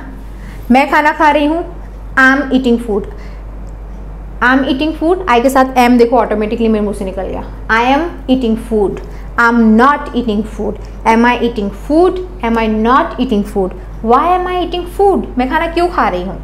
सिंपल। तो ऐसे जैसे अगर आप बोल बोल के प्रैक्टिस करोगे ना तो जैसे मैंने एकदम से एक फ्लो में बोल दिया, वैसे आप भी बोल लोगे। ठीक है? मैं जब पूरे टेंसेस खत्म हो जाएँगे तो हम एक सेंटेंस को सभी टेंसेस में बना के देखेंगे इंग्लिश और हिंदी दोनों में ओके तो अभी हमने दो टेंसेस पढ़ लिए हैं, आगे बढ़ते हैं और देखते हैं प्रेजेंट टेंस का थर्ड सब टाइप जो कि था परफेक्ट प्रेजेंट परफेक्ट टेंस तो चलिए अब देखते हैं प्रेजेंट टेंस का थर्ड टाइप जो कि है प्रेजेंट परफेक्ट टेंस ओके? पहचान मैंने आपको बता दी थी, चुका है, चुकी है, चुके हैं, चुका हूँ, या है। हाँ मैंने आपको ये नहीं बताया था। अब देखो, एक बात को कहने के दो तरीके हो सकते हैं। जैसे मैंने, मैं अगर ये बोलूँ कि रोहन सो चुका है, ठीक है? या मैं ये बोलूँ कि रोहन सोया है। दोनों बातें एक ही है ना? बोलने का तरीका अलग है। सोया है मतलब सो चुका है, काम हो चुका है। अगर मैंने ये बोलूँ, क्या रोहन सो चुका है? या क्या रोहन क्या रोहन सोया है? या जैसे मैंने बोलूँ, मैंने खाना खा लिया है, या मैं खाना खा चुकी हूँ। दोनों एक ही बात है। बोलने का तरीका अलग है। तो वैसे ही प्रेजेंट परफेक्ट टेंस की पहचान चुका है, चुकी है, चुके हैं तो हो ही सकता है बट सेंटेंस के लास्ट में या है, ई है, ए है, जैसे वो आए हैं। या वो आ चुके हैं, एक ही बात है। तो ये भी उसकी आइडेंटिटी है, ये भी पहचान है कि सेंटेंस की लास्ट में या है ई है ए है, भी हो सकता है।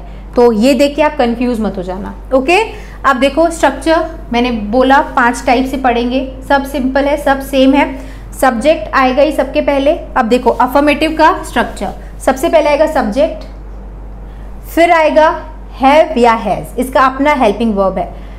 प्रेजेंट इंडेफिनेट का हेल्पिंग वर्ब क्या था? डू या डज जो पहले अफर्मेटिव में नहीं था नेगेटिव में हमने खुद डाला था डू या डज कॉन्टिन्यूस का इज़ एम आर परफेक्ट का है हैव या फिर हैज़ उसके बाद आता है वर्ब का थर्ड फॉर्म वर्ब का थर्ड फॉर्म मैंने आपको बोला था, अगर आप टेंथ सीख रहे हो तो आपको वर्ब के फॉर्म्स याद होने चाहिए, जिसका मैंने एक वीडियो ऑलरेडी बनाया हुआ है, जिसमें मैंने 1000 वर्ब्स उनके सेकेंड थर्ड फॉर्म बताए हैं। वीडियो का लिंक नीचे डिस्क्रिप्शन में है, आप देख लेना, आपके काम आएगा। ठीक है? आएगा वर्ब का थर्ड फॉर्म, उसके बाद आएगा ऑब्जेक्ट। और आप एक बात हमेशा याद रखना कि ज़रूरी नहीं है कि किसी सेंटेंस में ऑब्जेक्ट हो ही। जैसे अगर मैं बोलूँ आई राइट अ लेटर मैं एक लेटर लिखती हूँ तो लेटर ऑब्जेक्ट है। बट आई राइट बस मैं बोल दूँ तो उसमें ऑब्जेक्ट नहीं है। आए और बस आ जाता वर्ब का फ़र्स्ट फॉर्म तो वो भी चलता। तो ज़रूरी नहीं है कि किसी भी सेंटेंस में ऑब्जेक्ट हो। जस्ट फॉर योर नॉलेज मैंने आपको बता दिया। स्ट्रक्चर आपने देख लिया? और यहाँ पर मैंने कुछ लिस्ट लिखी हुई है, जैसे ऐसे कॉमन कुछ वर्ब्स जैसे गो वेंट गॉन गो ये फ़र्स्ट फॉर्म्स हैं, ये सेकेंड और ये थर्ड गो का गो मतलब जाना, इसका second form went third form जाना. Gone go went gone come came come eat ate eaten cut cut cut ये सारा आपको याद होना चाहिए. Fly flew flown write wrote written reach reach reached sleep slept slept इस तरीके से आपको याद करना पड़ेगा। इसमें आपकी हेल्प कोई नहीं कर सकता, उससे आप नहीं बच सकते ओके बड़े देखें स्ट्रक्चर तो अफॉर्मेटिव का क्या स्ट्रक्चर है? सबसे पहले आएगा सब्जेक्ट हैव या हैज़ आएगा। वर्ब का थर्ड फॉर्म आएगा ऑब्जेक्ट आएगा। अब फिर बात वही आ जाती है कि हैव कहाँ आएगा हैज़ कहाँ आएगा। तो मैंने आपको बहुत इजी ट्रिक मैंने स्टार्टिंग में बता दिया था कि ऑर्डर याद कर लो सब्जेक्ट्स का। I we you they plural number he she it name singular number वो याद है तो ये तो आपके बाएँ हाथ का खेल है, आपसे बहुत इजीली बन जाएगा। तो पहला ग्रुप क्या था? I we you they plural number he she it name singular number तो इस ग्रुप के साथ आएगा हैव इस ग्रुप के साथ आएगा हेल्पिंग वर्ब हैज़ तो अगर आपको ये याद होता तो इसमें आपको कुछ देखना ही नहीं पड़ता। बहुत ईजी है। ठीक है? ये अब समझ में आ गया? अब देखो।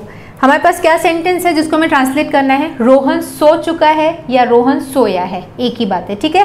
रोहन सो चुका है। तो सबसे पहले सब्जेक्ट क्या है? रोहन हैव या हैज़ रोहन नेम है।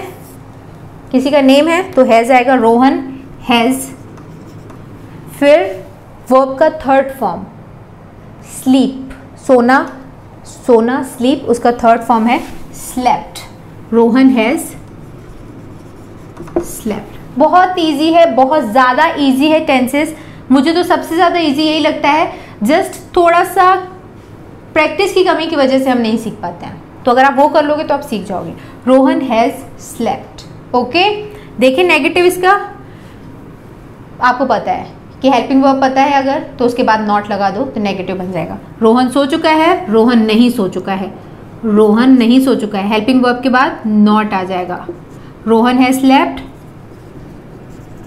Rohan has not slept.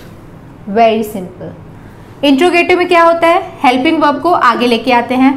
Rohan has slept. क्या रोहन सो चुका है? Has Rohan slept. Has Rohan slept. इसमें ऑब्जेक्ट नहीं है। अगर मैं बोलूँ रोहन इस रोहन पलंग पर सो चुका है, Rohan has slept on the bed अगर मैं बोलूँ तो फिर ऑब्जेक्ट माना जाएगा। इसमें है ही नहीं तो हम नहीं लिखेंगे। ठीक है? क्या रोहन सो चुका है? Has Rohan slept interrogative negative क्या रोहन नहीं सो चुका है? Has Rohan not slept subject के बाद नॉट लग जाएगा। हैज़ रोहन नॉट लिखूं? लिख देती हूँ, चलो। Has Rohan not slept question mark मत भूलना इंट्रोगेटिव अगर आप राइटिंग अगर एग्ज़ाम वगैरह दे रहे हो तो इंट्रोगेटिव में क्वेश्चन मार्क ज़रूर लगाना। ठीक है? हो गया सिंपल इसके बाद आते हैं डब्ल्यू एच क्वेश्चन अगर आपको ये बोलना हो आ, क्या रोहन कब सो चुका है?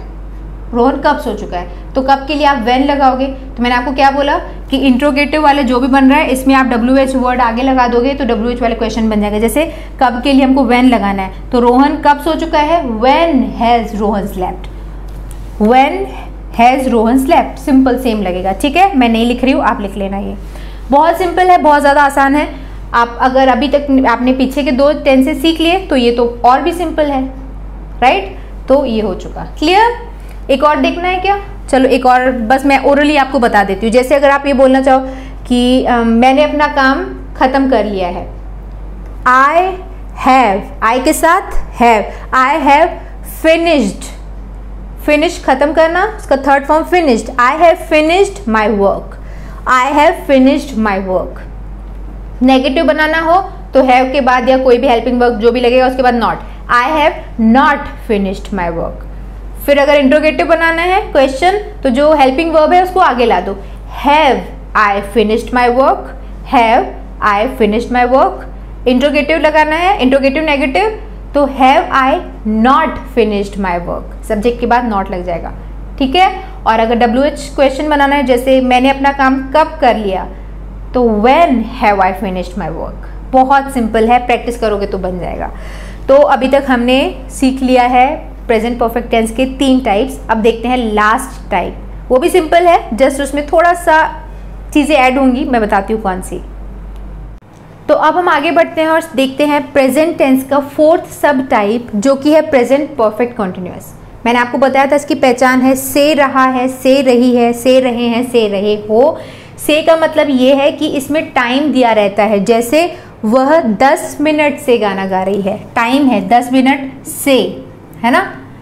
और वैसे कॉन्टिन्यूस में कैसा होता है? टाइम नहीं दिया रहता। है वह गाना गा रही है। बट यहाँ पर टाइम दिया हुआ है। दस मिनट से गाना गा रही है। वो चार घंटे से सो रही है। इस तरीके के सेंटेंसेस इसके अंदर आते हैं। क्लियर अब अब आपको क्या देखना है? पता है, आपको सब्जेक्ट वगैरह सब कुछ पता है। जस्ट आपको इसमें हेल्पिंग वर्ब कौन सा लगेगा, वो देखना है। और और क्या देखना है कि इसमें टाइम कैसे इन्वॉल्व होता है। तो देखो, इसका स्ट्रक्चर क्या है? अफॉर्मेटिव का सबसे पहले सब्जेक्ट आएगा, फिर हेल्पिंग वर्ब आएगा हैव हैज़ या बीन मतलब हैव बीन या फिर हैज़ बीन हैव बीन या हैज़ बीन सिंपल है। इसके बाद आएगा, मैंने आपको बोला जब भी कॉन्टिन्यूस आया तो वर्ब का फ़र्स्ट फॉर्म और उसमें आईएनजी आएगा ही आएगा। तो यहाँ पर आएगा वर्ब का फ़र्स्ट फॉर्म और उसमें लग जाएगा I N G subject plus has been या हैव बीन उसके बाद वर्ब का फ़र्स्ट फॉर्म उसमें आईएनजी उसके बाद आएगा ऑब्जेक्ट इतना तो क्लियर है, बहुत सिंपल है। परफेक्ट जैसे ही है, बस इसमें हैव या हैज़ की जगह हैव बीन या हैज़ बीन आएगा। कॉन्टिन्यूस है तो वर्ब का फ़र्स्ट फॉर्म आईएनजी भी आ जाएगा। इसके बाद उसमें आएगा सिंस या फॉर फिर आएगा टाइम अब सिंस या फॉर क्या है? तो सिंस या फॉर प्रपोजिशंस हैं जो टाइम के जस्ट पहले लगते हैं। सिंस कहाँ लगेगा? फॉर कहाँ लगेगा? अब आपको वो जानना पड़ेगा। तो सिंस और फॉर के ऊपर मैं ऑलरेडी एक वीडियो बना चुकी हूँ, जिसमें मैंने बहुत डिटेल में विद एग्जांपल्स बताया हुआ है एक्सरसाइज भी बताई थी कि कहाँ सिंस लगेगा, कहाँ फॉर लगेगा। ये भी एक बहुत इंपॉर्टेंट लेसन है इंग्लिश का जो आपको सीखना चाहिए। तो अगर वो वीडियो आपने नहीं देखा है तो उसका लिंक भी नीचे मैं डिस्क्रिप्शन में दे दूँगी। आप देख लेना कि सिंस फॉर कहाँ लगता है। बाकी ओवरव्यू के तौर पर मैं आपको ज़रूर बताऊँगी कि जब भी कोई हमें एग्जैक्ट टाइम पता हो जब भी किसी चीज़ का हमें बराबर टाइम पता हो, वहाँ सिंस लगता है और जहाँ हमें लगभग एस्टिमेशन एकदम एग्जैक्ट टाइम नहीं पता हो, वहाँ फॉर लगता है। जैसे, अगर मैं बोलूँ, वो चार बजे से सो रही है तो चार बजे से मुझे एग्जैक्टली पता है तो वहाँ मैं सिंस लगाऊँगी। और अगर मैं ये बोल रही हूँ, वो चार घंटे से सो रही है तो मुझे नहीं पता कि कौन से चार घंटे तो एग्जैक्ट नहीं पता तो वहाँ पर फॉर लगेगा। जैसे अगर मैं वो ये बोलूँ कि वो 10 मिनट से गाना गा रही है तो कौन से 10 मिनट है, वो हमें नहीं पता। अगर मैं बोलती कि वो 10 बजे से गाना गा रही है, हमें 10 बजे एग्जैक्ट टाइम पता है तो वहाँ हम सिंस लगाते। बट क्योंकि हमें एस्टिमेटेड टाइम पता है 10 मिनट कौन से 10 मिनट नहीं पता तो यहाँ पर हम फॉर लगाएँगे। जैसे अगर मैं बोलूँ कि वो 1947 से यहाँ रह रहे हैं तो 1947 एग्जैक्टली हमें ईयर पता है तो वहाँ हम सिंस लगाएँगे। और अगर मैं ये बोलूँ कि वो 15 सालों से यहाँ रह रहे हैं या वो 50 सालों से यहाँ रह रहे हैं तो मुझे एग्जैक्ट नहीं पता तो मैं आप फॉर लगाऊँगी। तो बहुत डिटेल में समझने वाली बात है ये, जैसे मॉर्निंग इवनिंग ये सारे जो एग्जैक्ट टाइम पता है तो वहाँ लगेगा सिंस जैसे चाइल्डहुड और यूथ तो लगेगा सिंस और अगर मैं ऐसे बोलूँ और एग्ज़ाम्पल फॉर के लिए, जैसे अगर मैं बोलूँ कि वो दो दिन से नहीं आ रही है तो दो दिन एग्जैक्ट नहीं पता। अगर मैं बोलूँ कि वो सेकेंड ऑफ़ अक्टूबर से नहीं आ रही है तो मुझे एग्जैक्ट पता है। तो इस तरीके से वो डिफरेंस होता है। आई थिंक अभी आपको फ़िलहाल तो समझ में आ गया होगा। बाकी आप वीडियो देखोगे तो आप, आपको और समझ आएगा। और अगर आप चाहते हैं कि इसके ऊपर मैं एक और वीडियो बनाऊँ एकदम और डिटेल में विद एक्सरसाइज तो आप नीचे कॉमेंट ड्रॉप करना मैं एक वीडियो इसके ऊपर बना दूँगी। तो ठीक है आपको समझ में आ गया structure subject plus have been या हैज़ बीन वर्ब का फ़र्स्ट फॉर्म ऑब्जेक्ट सिंस या फॉर उसके बाद लग जाएगा टाइम बना के देखते हैं सेंटेंस वो 10 मिनट से गाना गा रही है। तो वह रही है। कौन सा लगेगा सब्जेक्ट शी लड़की के लिए हम शी लगाते हैं. शी शी के साथ अब हैज़ बीन लगेगा या हैव बीन लगेगा? तो अगर आपने ये ऑर्डर याद कर लिया था तो फिर आपके लिए चीज़ें बहुत आसान है. I we you the plural number he she it name singular number तो इस वाले ग्रुप के साथ लगेगा हैव बीन यानी जहाँ हैव लगता था, वहीं हैव बीन लगेगा. और जहाँ हम हैज़ लगा रहे थे परफेक्ट में, वहाँ हैज़ बीन लग जाएगा. बहुत सिंपल है राइट तो इसमें आपको ज़्यादा, बहुत ज़्यादा परेशान होने की ज़रूरत नहीं है। तो शी के साथ क्या लगेगा? Has been she has been गाना गाने के लिए सिंग और उसमें लग जाएगा I N G she has been singing a song गाना गा रही है, गाना को सॉन्ग बोलते हैं। She has been singing a song फिर हमें बोलना है दस मिनट से। तो क्या लगेगा? सिंस की फॉर यहाँ लगेगा फॉर क्योंकि हमें एग्जैक्टली exactly नहीं पता कि कौन से दस मिनट है वो राइट अगर मैं बोलती दस बजे से तो हम यहाँ पे सिंस लगाते हैं। क्लियर है? अब नेगेटिव अब आपको पता है कि नेगेटिव कैसे बनाना है। डोंट टेल मी कि आपको नहीं पता। हेल्पिंग वर्ब के बाद आपको नॉट लगाना है बट अब हमारे पास हेल्पिंग वर्ब में टू वर्ड्स है। एक है हैव और बीन तो यहाँ पर आपको हैव के बाद लगाना होता है, यानी हैव और बीन के बीच में नॉट लगता है। बस इतना आपको याद रखना है। बाकी सारा रूल सेम रहेगा।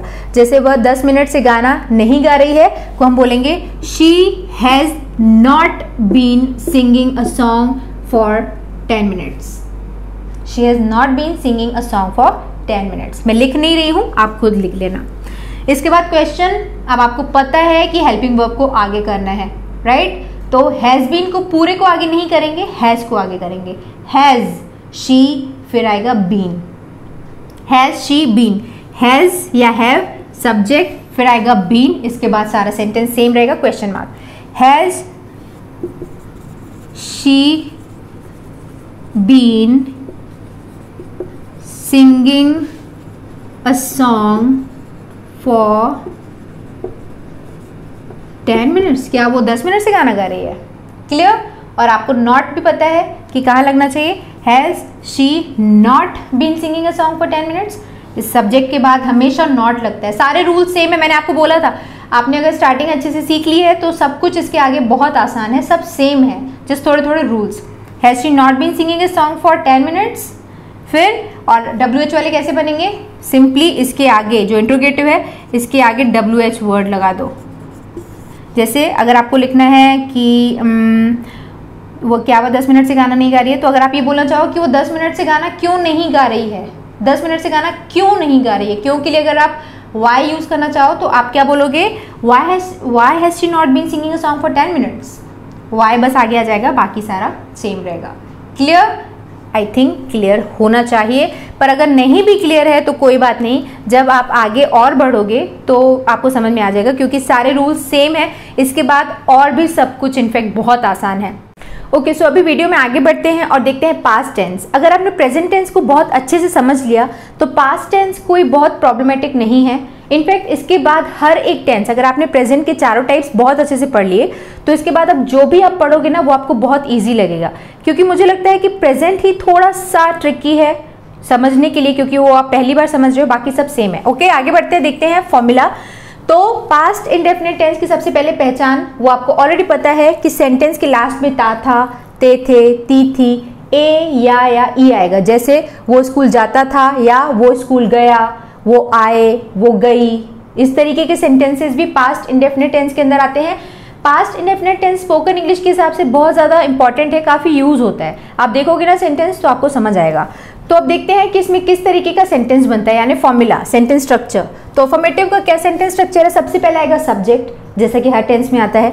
उसके बाद आएगा वर्ब का सेकेंड फॉर्म आपने प्रेजेंट इंडेफिनेट में वर्ब का फ़र्स्ट फॉर्म यूज़ किया था, यहाँ पर आप सेकेंड फॉर्म यूज़ करोगे. ये बहुत इंपॉर्टेंट है, इसमें मिस्टेक मत करना. वर्ब का सेकेंड फॉर्म उसके बाद आएगा ऑब्जेक्ट बस इतना सा फॉर्मूला है और सेंटेंस मेकिंग भी बहुत इजी है. तो हमारे पास किस तरीके का सेंटेंस आएगा प्रेजेंट इंडेफिनेट टेंस का? कि वो स्कूल जाता था. वो स्कूल जाता था या वो स्कूल गया? ये दोनों सेंटेंसेस प्रेजेंट इंडेफिनेट टेंस के ही कहलाएँगे। ऑलराइट दोनों का सेंटेंस सेम बनेगा। कैसे सेंटेंस बनेगा? सबसे पहले हम सब्जेक्ट लिखेंगे। तो वह क्या है? वह जाता था, है ना? लड़के के लिए है तो ही लिखेंगे। ही स्कूल जाना, गया, जाता था। तो गो जाना के लिए यूज़ होता है राइट यहाँ पे मैंने थोड़ा सा फॉर्म्स लिख लिए हैं इंपॉर्टेंट वर्ब्स के, बाद में तो आपको याद करना पड़ेगा। तो मैंने लिखा है गो उसका सेकेंड फॉर्म लिखा है वेंट गो का सेकेंड फॉर्म होता है वेंट और थर्ड फॉर्म होता है गॉन तो हमको यहाँ पे वेंट यूज़ करना पड़ेगा। वर्ब का सेकेंड फॉर्म ही वेंट ठीक है? इसके बाद object he went to he went to school simple very simple अब देखो, इसके बाद हमको बनाना है इसका नेगेटिव नेगेटिव आपको पता है कि सब्जेक्ट उसके बाद जो भी सेंटेंस में हेल्पिंग वर्ब होगा, उसके बाद आपको नॉट लगाना है। इतना तो आप जानते हो।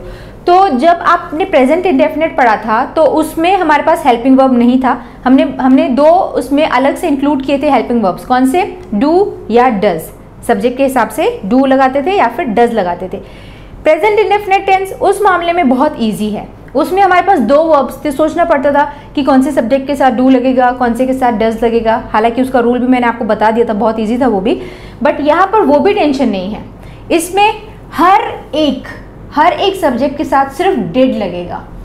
सब्जेक्ट प्लस डिड सभी सब्जेक्ट्स के साथ। ये जितने भी आप सब्जेक्ट्स देख रहे हो ना, सबके साथ सिर्फ़ डिड यूज़ होगा। क्लियर बहुत इजी है इस मामले में ये। सब्जेक्ट फिर डिड फिर नॉट वर्ब का फ़र्स्ट फॉर्म अब देखना, इस वाले बात में सब लोग बहुत मिस्टेक करते हैं। आपको नहीं करनी है। जब भी आप किसी सेंटेंस में नेगेटिव बनाते हो या इंट्रोगेटिव बनाते हो, यानी अगर आप डिड का यूज़ कर देते हो नेगेटिव इंट्रोगेटिव इंट्रोगेटिव नेगेटिव इन सब में हम डेट का यूज़ कर देंगे ना अफॉर्मेटिव में तो नहीं हो रहा है डेट का यूज़ ठीक है। बट इसके बाद के सारे सेंटेंसेस में डेट का यूज़ होगा। तो जब भी आपने डेट इन्वॉल्व कर दिया सेंटेंस में तो वर्ब का जो फॉर्म है सेकेंड फॉर्म वो फ़र्स्ट फॉर्म में कन्वर्ट हो जाएगा। हमेशा सब लोग इसमें मिस्टेक करते हैं, आप मत करना, ठीक है? ध्यान देना इस बात पर। फिर आएगा सब्जेक्ट डिड नॉट फिर वो का फ़र्स्ट फॉर्म और ऑब्जेक्ट तो क्या हो जाएगा हमारे पास?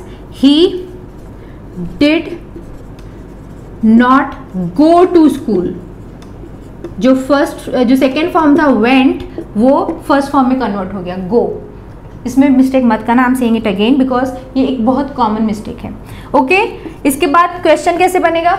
जो हेल्पिंग वर्ब है, वो आगे आ जाएगा। डिड ही और यहाँ पे फ़र्स्ट फॉर्म ही रहेगा। सेंटेंस में डिड आया तो फ़र्स्ट वर्ब का फ़र्स्ट फॉर्म ही यूज़ होगा। चाहे वो क्वेश्चन हो या फिर नेगेटिव हो। Did he go to did he go to school? Right next interrogative negative subject के बाद हम नॉट लगा देते थे। Did he not go to school and W H वाले में क्वेश्चन वाले के आगे आप बस डब्ल्यू एच वर्ड लगा दो तो सेम बनेगा जैसे अगर आपको बोलना हो, वह स्कूल क्यों नहीं गया? तो आप लिखोगे why did he not go to school या why did he go to school school क्यों गया? वेरी सिंपल तो आई थिंक इस टेंस में समझने के लिए कुछ ज़्यादा नहीं था। आप इसे समझ गए हो। बस इतना ध्यान देना कि अगर आपने डिड इन्वॉल्व कर दिया तो वर्ब का सेकेंड फॉर्म फ़र्स्ट फॉर्म में कन्वर्ट कर देना। ओके okay, तो चलिए आगे बढ़ते हैं और देखते हैं पास्ट का नेक्स्ट टाइप यानी कि पास्ट कॉन्टिन्यूस टेंस ओके तो चलिए अब देखते हैं पास्ट कॉन्टिन्यूस टेंस अगर आपने प्रेजेंट कॉन्टिन्यूस टेंस सीख लिया तो इसमें आपको कुछ भी सीखने की ज़रूरत नहीं है। बिल्कुल सेम है जस्ट हेल्पिंग वर्ब चेंज होगा। पहचान आपको पता है कि रहा था रह, रहे थे रही थी आता है सेंटेंस के लास्ट में। और मैंने आपको ये भी बताया था कि जब भी कॉन्टिन्यूस आएगा कॉन्टिन्यूस वर्ड आएगा टेंस में तो वर्ब का फ़र्स्ट फॉर्म और उसमें आईएनजी लगेगा। सिर्फ़ इतना सा है। बस आप देख लेना कि इसमें हेल्पिंग वर्ब कौन सा लगेगा। तो अफॉर्मेटिव का फॉर्मूला क्या है? सब्जेक्ट उसमें इज़ ए मार्क था हेल्पिंग वर्ब प्रेजेंट कॉन्टिन्यूस में यहाँ पर वॉज़ या वर लगेगा। फिर वर्ब का फ़र्स्ट फॉर्म आईएनजी जिसे मैंने बोला था कि इससे वर्ब का फोर्थ फॉर्म भी बोलते हो। ठीक है? वॉज़ वर्ब वर्ब का first form I N G और फिर ऑब्जेक्ट सिंपल है, बहुत सिंपल है। इसमें मुझे कुछ भी बताने की ज़रूरत नहीं है, इसको हम दो मिनट में निपटाने वाले हैं। सिर्फ़ आपको इतना जान लेना है कि कौन से सब्जेक्ट के साथ वर्ब लगेगा हेल्पिंग वर्ब और कौन से सब्जेक्ट के साथ वॉज़ लगेगा। तो मैं आपको बता देती हूँ कि वॉज़ का मतलब होता है था ओके था।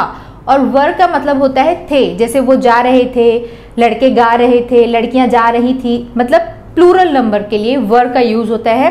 और सिंगुलर नंबर के लिए वॉज़ का यूज़ होता है। जैसे अगर आपको अपने लिए यूज़ करना हो I was going to market तो आप हिंदी में क्या बोलोगे? यानी मैं मार्केट जा रहा था बोलोगे ना? था, थी, एक वचन के लिए।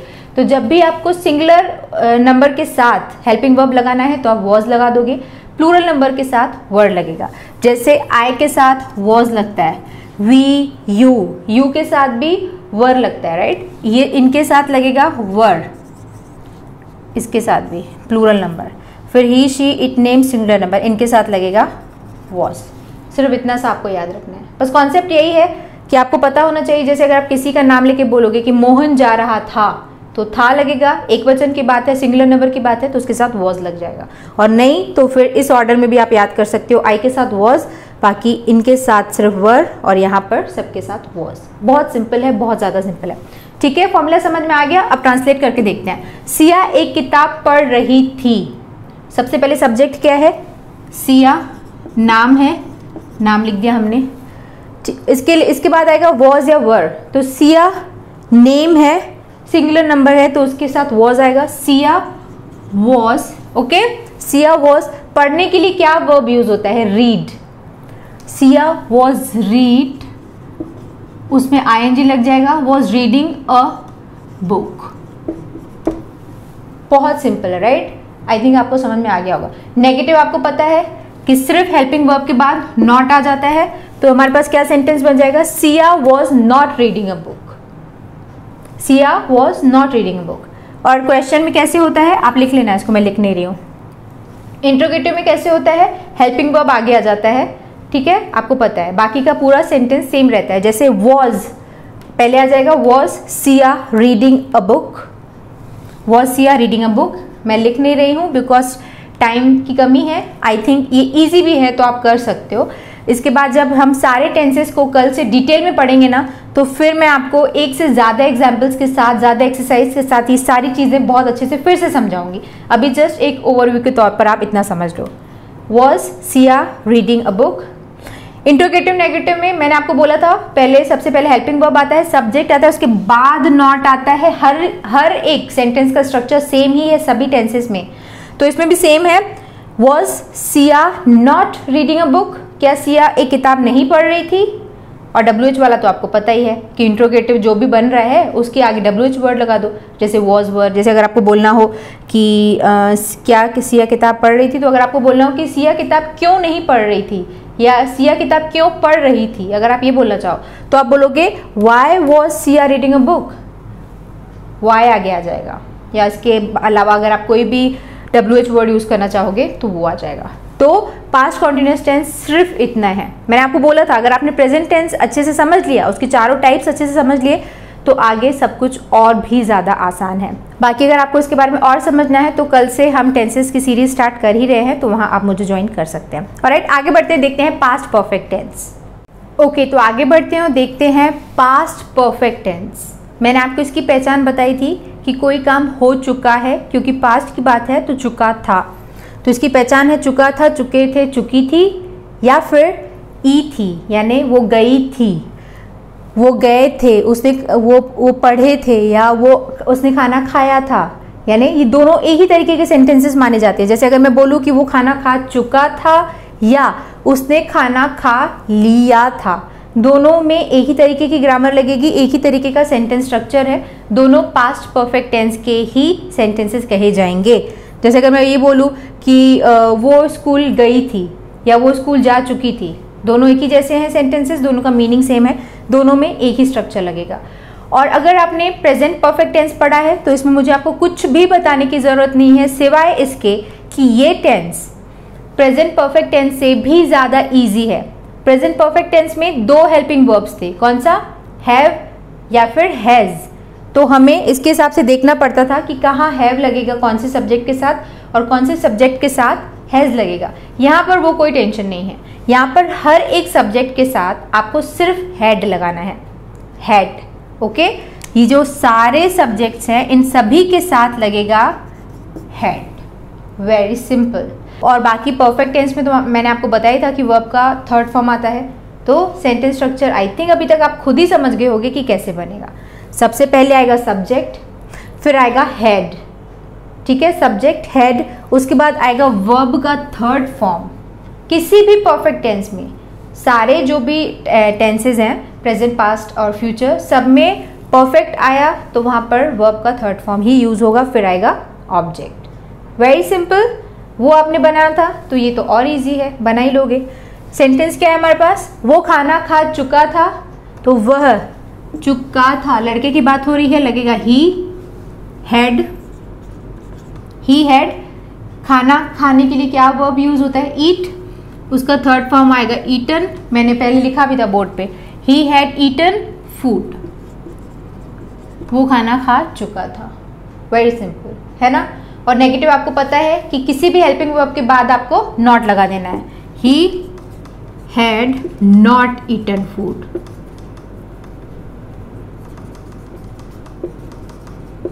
he had not eaten food वो खाना नहीं खा चुका था या उसने खाना नहीं खाया था। और अगर इंट्रोगेटिव बनाना हो तो हेल्पिंग वर्ब को आगे लेके आ जाओ। Had he had he eaten food had he eaten verb का थर्ड फॉर्म ही रहेगा। He had he eaten food ठीक है क्वेश्चन मार्क क्या उसने खाना खाया था या क्या वो खाना खा चुका था? और अगर इंट्रोगेटिव नेगेटिव तो हैड सब्जेक्ट यानी हेल्पिंग वर्ब आता है सब्जेक्ट आता है, उसके बाद नॉट आ जाता है, बाकी सेंटेंस सेम रहता है। तो क्या बनेगा? Had he not eaten food ठीक है, बहुत सिंपल है, आप लिख लेना। और डब्ल्यू एच वाले में तो आपको पता ही है कि जो भी इंट्रोगेटिव बनेगा, उसके आगे आप डब्ल्यू एच वर्ड लगा दो। कैसे? जैसे डब्ल्यू एच वर्ड फिर हेड फिर सब्जेक्ट फिर वर्ब का थर्ड फॉर्म और ऑब्जेक्ट और क्वेश्चन मार्क बहुत सिंपल है, बहुत ज़्यादा सिंपल है, इसीलिए यहाँ पर अभी हम बहुत ज़्यादा दिमाग नहीं लगाएँगे। और इसकी प्रैक्टिस हम कल से करेंगे। सारे टेंसेज हम कल से पढ़ने वाले हैं। मैंने आपको वीडियो के फ़र्स्ट हाफ़ में इन्फॉर्म नहीं किया था। मैं अभी आपको बता देती हूँ कि इस वीडियो के बाद से हम हर दिन एक एक टेंस करने वाले हैं with more than one example अभी मैंने आपको एक एक एग्ज़ाम्पल बताया है। एक से ज़्यादा एग्जाम्पल्स के साथ और आपको और डिटेल में चीज़ें आपको बताई जाएँगी। एक्सरसाइज वगैरह दूँगी मैं आपको करने के लिए। तो और अच्छी आपकी प्रैक्टिस हो जाएगी। एनीवे anyway, आगे बढ़ते हैं और देखते हैं नेक्स्ट टेंस यानी पास्ट का फोर्थ सब टाइप कौन सा था? पास्ट परफेक्ट कॉन्टिन्यूस तो चलिए फटाफट से पास्ट का फोर्थ सब टाइप यानी पास्ट परफेक्ट कॉन्टिन्यूस टेंस भी देख लेते हैं। ये भी बहुत इजी है पास्ट के तीनों और टेंसेस की तरह। इसमें भी कुछ भी नहीं है। एक ही हेल्पिंग वर्ब लगेगा। जहाँ पर हम हेड लगाते थे, वहाँ हेड बिन लगेगा। सिर्फ़ इतना सा डिफरेंस है। बाकी सेम ये टेंस आपने जो प्रेजेंट में पढ़ा था प्रेजेंट परफेक्ट कॉन्टिन्यूस बिल्कुल वैसा ही है। कुछ भी डिफरेंस नहीं है। सब आपको पता है सिंस फॉर कहाँ लगना है टाइम वगैरह, सब कुछ आप ऑलरेडी जानते हो। तो ये टेंस भी हम एकदम ऐसे, फटाफट से ख़त्म करेंगे। तो इसकी पहचान आपको ऑलरेडी पता है, से रहा था। से मतलब टाइम उसके पहले आएगा, जैसे चार बजे से पढ़ रहा था, दो बजे से खेल रहा था। तो से रहा था, से रही थी, से रहे थे, इसकी पहचान है। ये ऑलरेडी मैं आपको बता चुकी हूँ। अब आपको देखना है सेंटेंस स्ट्रक्चर तो अफर्मेटिव का सेंटेंस स्ट्रक्चर आपको ऑलरेडी पता है प्रेजेंट परफेक्ट कंटिन्यूस का कैसा था? सब्जेक्ट था, फिर हैव बीन या हैज़ बीन वहाँ का हेल्पिंग वर्ब था। वर्ब का first form I N G plus object plus since या फॉर प्लस टाइम ये भी बिल्कुल सेम है। उल्टा ही उससे ईजी है। ईजी कैसे है? वहाँ पर हैव या हैज़ बीन का कन्फ्यूज़न था। यहाँ सब में एक ही हेल्पिंग वर्ब आएगा। Had been had been simple तो पास परफेक्ट में भी तो ऐसा ही था। सिर्फ़ हेड लगना था। हैव बीन का कन्फ्यूज़न नहीं था हैव या हैज़ का। तो यहाँ पर भी ऐसा ही है हैव बीन या हैड हैज़ बीन का कन्फ्यूज़न नहीं है, सिर्फ़ हैड बीन लगना है। बहुत सिंपल है। देखिए एग्ज़ाम्पल वो सुबह से पढ़ रहा था। सुबह से पढ़ रहा था। तो कंटिन्यूस की बात है और टाइम दिया हुआ है तो इसकी पहचान ही यही है टाइम दिया होना चाहिए और कंटिन्यू बात होनी चाहिए, क्रिया चलते रहनी चाहिए, ठीक है? तो सुबह से पढ़ रहा था टाइम दिया हुआ है। अब आप बताओ कि सुबह पक्का टाइम है कि कच्चा टाइम है? यानी आपको एग्जैक्टली पता है ना, सुबह सुबह एक एग्जैक्ट टाइम माना जाता है। सुबह, शाम, दिन, है ना? नून, ये सारे एग्जैक्ट टाइम टाइमिंग्स हैं। तो इसके पहले क्या लगेगा? सिंस या फॉर मैंने आपको बताया था। अगर आपको एग्जैक्ट टाइम पता है तो उसके पहले आप सिंस लगाते हो। ओके स्टार्ट करते हैं। सबसे पहले सब्जेक्ट लड़के की बात हो रही है ही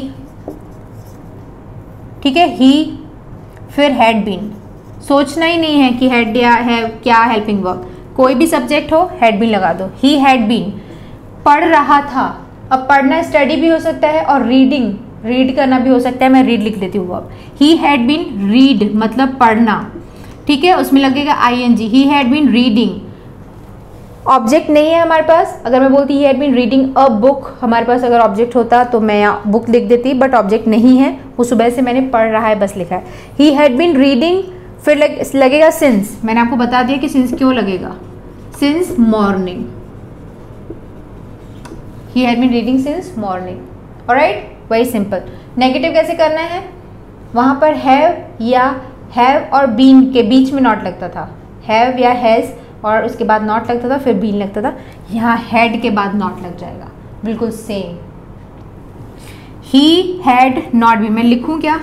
आप लिख तो सकते हो वैसे ही had not been reading since morning helping verb के बाद नॉट ही तो लगाना होता है। और इंट्रोगेटिव में कैसे होता है? हेल्पिंग वर्ब को आगे लेके आते हैं। और परफेक्ट वाले जो होते हैं, उसमें सब्जेक्ट के बाद बीन आता है। यानी हेड बीन को पूरा आप आगे नहीं लाते हो, सिर्फ़ हेड को या हैव या हैज़ इनको आगे लाते हो। बीन आप सब्जेक्ट के बाद लिखते ही हो। तो कैसा बनेगा? हेड ही बीन इसके बाद same sentence had he been reading since morning right बना लेना इसके बाद आप। इसके बाद करना है आपको इंट्रोगेटिव नेगेटिव मैंने आपको बहुत बार अभी तक बता चुकी हूँ कि इंट्रोगेटिव नेगेटिव वाले सेंटेंसेस में सबसे पहले हेल्पिंग वर्ब फिर सब्जेक्ट उसके बाद आप नॉट लगा दो। बाकी सारा सेंटेंस सेम रहेगा। कैसे?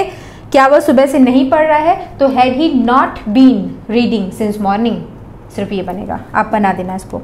और डब्ल्यू एच क्वेश्चन वाले में कैसा रहेगा? डब्ल्यू एच क्वेश्चन फिर उसके बाद नॉर्मल जो इंट्रोगेटिव बनता है, वो बनेगा। ये वाला। हैड जैसे अगर क्यों, वह सुबह से क्यों नहीं पढ़ रहा है? अगर हमारे पास ये क्वेश्चन होता, वो सुबह से क्यों नहीं पढ़ रहा है? तो क्यों आप वाई लिखते हैं उसके लिए? आप यहाँ लगा देते why had he not been studying since morning या reading since morning okay clear very clear I think तो अगर ये आपको अभी भी समझ में नहीं आया है तो कल से मुझे टेंस की सीरीज़ में ज्वाइन करना, क्योंकि मैं कल से हर एक टेंस को बहुत डिटेल में बताने वाली हूँ. और राइट फ़िलहाल आगे बढ़ते हैं. अभी तक हमने प्रेजेंट के चारों टाइप्स और पास्ट के चारों टाइप्स कर लिए हैं. अब आगे बढ़ते हैं और देखते हैं क्या फ्यूचर टेंस ओके तो चलिए आगे बढ़ते हैं और देखते हैं फ्यूचर टेंस और उसके चारों types again it's a very easy tense अगर आपने दो प्रेजेंट और पास्ट कर लिया है तो ये भी बहुत ईजी है. जस्ट हेल्पिंग वर्ब्स का डिफरेंस आएगा. कौन से हेल्पिंग वर्ब्स लगेंगे वो मैं आपको बता दूँगी, और वो भी बहुत ईजी है। ऐसा नहीं है कि बहुत हार्ड एंड फास्ट इसमें कुछ रूल्स लगने वाले हैं। तो फ्यूचर इंडेफिनेट टेंस की पहचान आपको पता है कि सेंटेंस के लास्ट में गा, गी या फिर गे आता है। जैसे, रेयान गाना गाएगा, मैं खाना खाऊँगी, मैं खाना बनाऊँगी, हम नाचेंगे, हम हंसेंगे, हम खेलेंगे। इस तरीके के सेंटेंसेस बनते हैं। सेंटेंस के लास्ट में गा, गी या फिर गे आना चाहिए। सेंटेंस का structure again it's a very easy structure अगर आपने पढ़े हैं बाकी के तो। कैसा स्ट्रक्चर बनेगा? अफॉर्मेटिव मैंने लिखा है यहाँ पर। सबसे पहले सब्जेक्ट आएगा। हर एक सेंटेंस स्ट्रक्चर में सबसे पहले सब्जेक्ट आता है। उसके बाद आएगा विल या फिर शेल यहाँ के हेल्पिंग वर्ब्स क्या हैं? विल या शेल इसके बाद तो सिंपल है। वर्ब का फ़र्स्ट फॉर्म और ऑब्जेक्ट ठीक है? देख लो।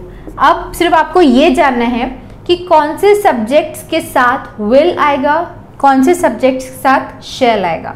तो मैं आपको बताती हूँ। ये लिस्ट आपको याद है? I we you they plural number he she it name singular number इतना आपको पता है। तो यहाँ पर आपको सिर्फ़ देखना है कि आई और वी आई और वी के साथ सिर्फ़ शेल आता है। बाकी के जितने भी सब्जेक्ट्स हैं, सबके साथ सिंपली विल आता है। आई वी के साथ शेल बाकी सबके साथ विल बट यहाँ पर भी आपको एक फ़ायदा मिलने वाला है कि पहले जो इंग्लिश चलती थी, वहाँ पर शेल का यूज़ होता था. आई शेल गो कि मैं जाऊँगा. वी शेल डू दिस हमें ये करना चाहिए. बट अभी की जो इंग्लिश है करंट इंग्लिश है, यहाँ पर आप कंपल्सरीली शेल का यूज़ करें, ऐसा ज़रूरी नहीं है. सिंपली बहुत फ्लो में आप आई और वी के साथ विल का भी यूज़ कर सकते हो. ये अब ऑब्सलीट हो चुका है. ये अब नहीं चलता है ज़्यादा, सब लोग विल यूज़ करते हैं, चलता है ये। जैसे तो फिर इसके बाद क्या हुआ इसका मतलब? कि आप सब्जेक्ट के बाद सिंपली सभी के साथ भी विल लगाओगे ना तो चलेगा। बट क्योंकि हम रूल वाइज पढ़ रहे हैं तो इतना आपके लिए जानना ज़रूरी था। तो आई वी के साथ शेल बाकी सबके साथ विल या फिर अगर आप चाहें तो सबके साथ आप विल लगा दो। सेंटेंस स्ट्रक्चर बहुत ईजी है सेंटेंस बना के देख लेते हैं। रियान गाना गाएगा। सब्जेक्ट है रियान। इसके बाद हमें लिखना है हेल्पिंग वर्ब तो रियान के साथ विल लगेगा, क्योंकि आई वी को छोड़कर सबके साथ विल लगता है. रियान विल गाना गाने के लिए कौन सा वर्ब यूज़ होता है? सिंग सिंग अ सॉन्ग है ना? Sing a song object Riyan will sing a song negative बनाना हो तो जो भी हेल्पिंग वर्ब है, उसके बाद नॉट लगा दो. Riyan will not sing a song